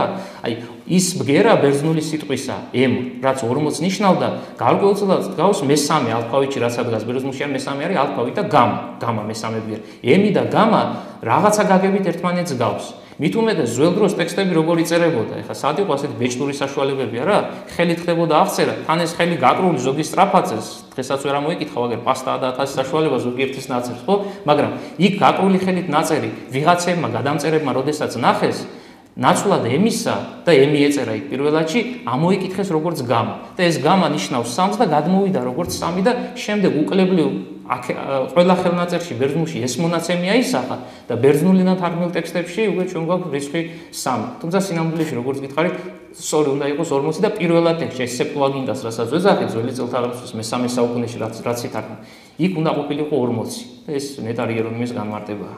მესიანური წინასწარმეტყველებები ბუნდოვანია და ხალხისთვის მიუძღვნელი საინტერესოა, როდის გაიგეს და შემისწრეს ზოლათმაში მცხოვრები ადამიანები მათი არსი, რადგან თუ გაუგებარი ეს წინასწარმეტყველები თავის დანიშნულებას როგორ შეასრულებდა. ხო, მოგლეთ, ვითარება არის ასეთი. წეგან ჩვენ თქვით მიზეზები თუ რატო იყო გაუგებარი ბუნდოვანი, მაგრამ ასევე ვთქვით, რომ ყველასთვის არ იყო გაუგებარი და ბუნდოვანი.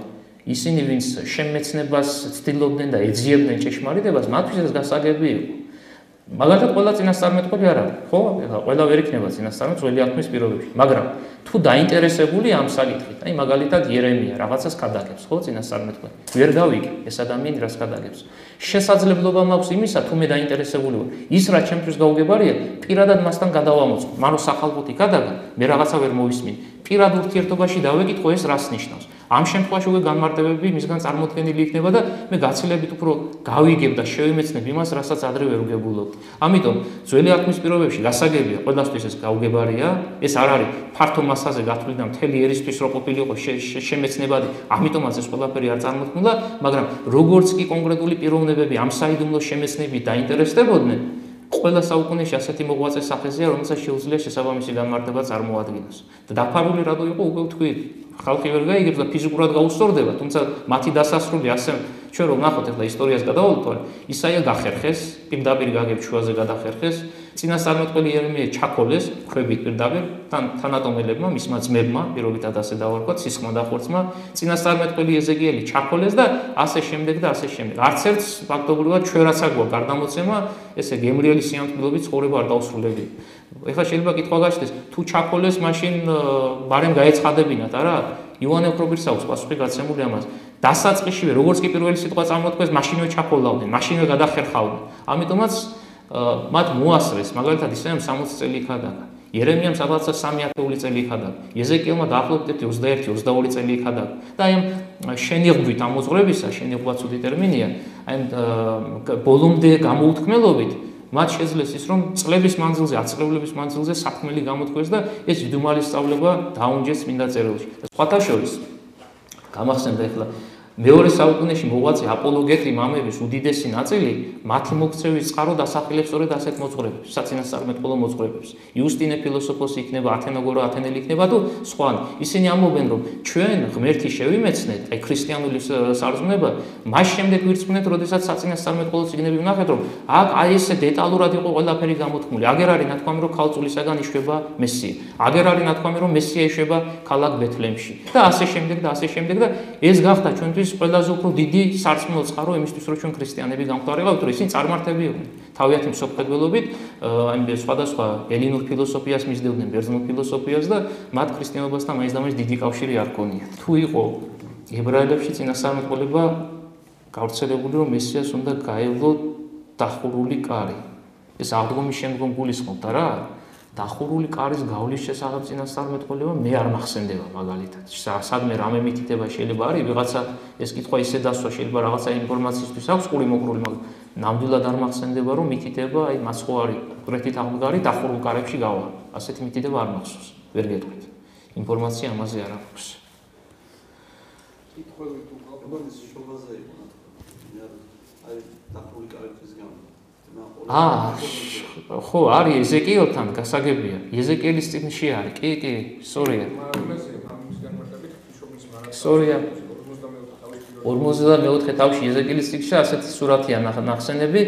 ცოტა რთული თემა. უფალმა დატოვა იერუსალიმი ეზეკიელმა სულიერად ნახა. უფლის დიდება მასე ახსენეს ქერუბიმებთან ერთად. ეს არის მე-11 თავში აღწერილი და დროებითი პერიოდია. ბაბილონური ტყვეობის პერიოდში უფალს მიტოვებული ყავს ყველები. აი ეს არის ნაჩვენები ამ სურათში.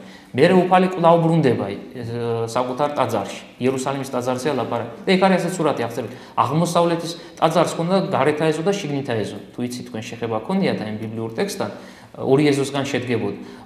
კარები ქონდა სამ მხარეს. ესე იგი აღმოსავლეთის მხარე, დასავლეთის მხარე და სამხრეთის მხარე. სამი კარი სუსტად როგორც გარეთ აკედელში, ასევე შიდა კედელში ამ ეზოებს რაცხობ.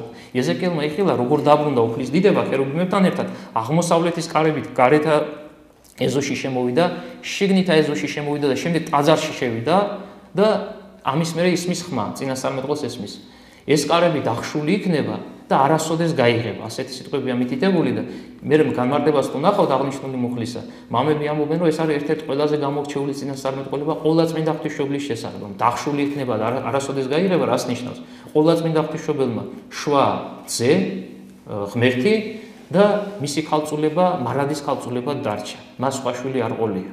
მუდმივად ის არის ერთადერთი ძის ამ შემთხვევაში განკაცებული ღმერთის დედა და აი მითითება ეზეკილის ციგნის ასეთია. ეს რომ მართლა ასეა საეკლესიო საკითხებიც მიუთითებს ამას. აი ღვთისმშობლობის წინა დღეს როგორც წესი იკითხება ეზეკილის წინასწარმეტყველების ეს ნაწილი. ახლა რას თქვენ აქ ახსენეთ და სწორია მე უბრალოდ ვერ ვერ მოვახდინა ორიენტირება კითხვა საით იყო მიმართული დიახ არის და ეზეკილის ციგნის 54 თავი. მართალია სწორია დიახ. იონ როგორ შეიძლება შევთავაზოთ იონას ვეშაპში ვეშაპის მიწაში ყოფის პერიოდი და მას ხორის საფლავში ყოფის პერიოდი. დროის რაოდენობას გულისხმობთ? აი საათებს გულისხმობთ? თუ სამი დღე რამე და მას ხარ სამი დღე სამი დღე და ღამე პირდაპირ გაგებით არც იონასთან არის, როდესაც კომენტატორები განმარტებას გვეუბნებიან ჩვენ ეკლესიის მამები. ისინი არ ამბობენ, რომ იონა ვეშაპის სიახში მიყვებოდა 3ჯერ 24 საათი. საეკლესიო აი ბიბლიური ენა თვითონ, როდესაც სამ დღეზე ლაპარაკობს, ესე იგი სამ დღე ღამე ჩვენ შეგვიძლია მივიჩნიოთ 26 საათი უკვე. და რა გაგებით? პირველი დღის, ბატონო? სამი არასრული დღე. პირველი დღის 1 საათი, აი დღე რო სრულდება, მაგალითად 11 საათია და 12 საათამდე. ეს 1 საათი უკვე ერთ დღედ მიიჩნევა. ბიბლიაში არის ასეთი ეპიზოდები, ასეთი ადგილები. მეორე დღე, ანუ შუალედური დღე 3-დან 24 საათი სრული, ჯამში ვღებულობთ 25 საათს და მესამე დღეს 1 საათი, 26 საათი. საკმარისია იმისთვის, რომ წმინდა წერილმა 3 დღე უწოდოს აი ამ დროის ამ დინარებას, ანუ 26 26 საათიან პერიოდს. ასე რომ იონასთან მიმართებითაც 3ჯერ 24 საათი პირდაპირ ნიშნავს შეიძლება არც ყოფილა ის ვესები, თუმცა დრო დათვლილი არ არის ნამდვილად და ეს ტექსტში მსგავსი მითითება ჩვენ არ ვხვდებით.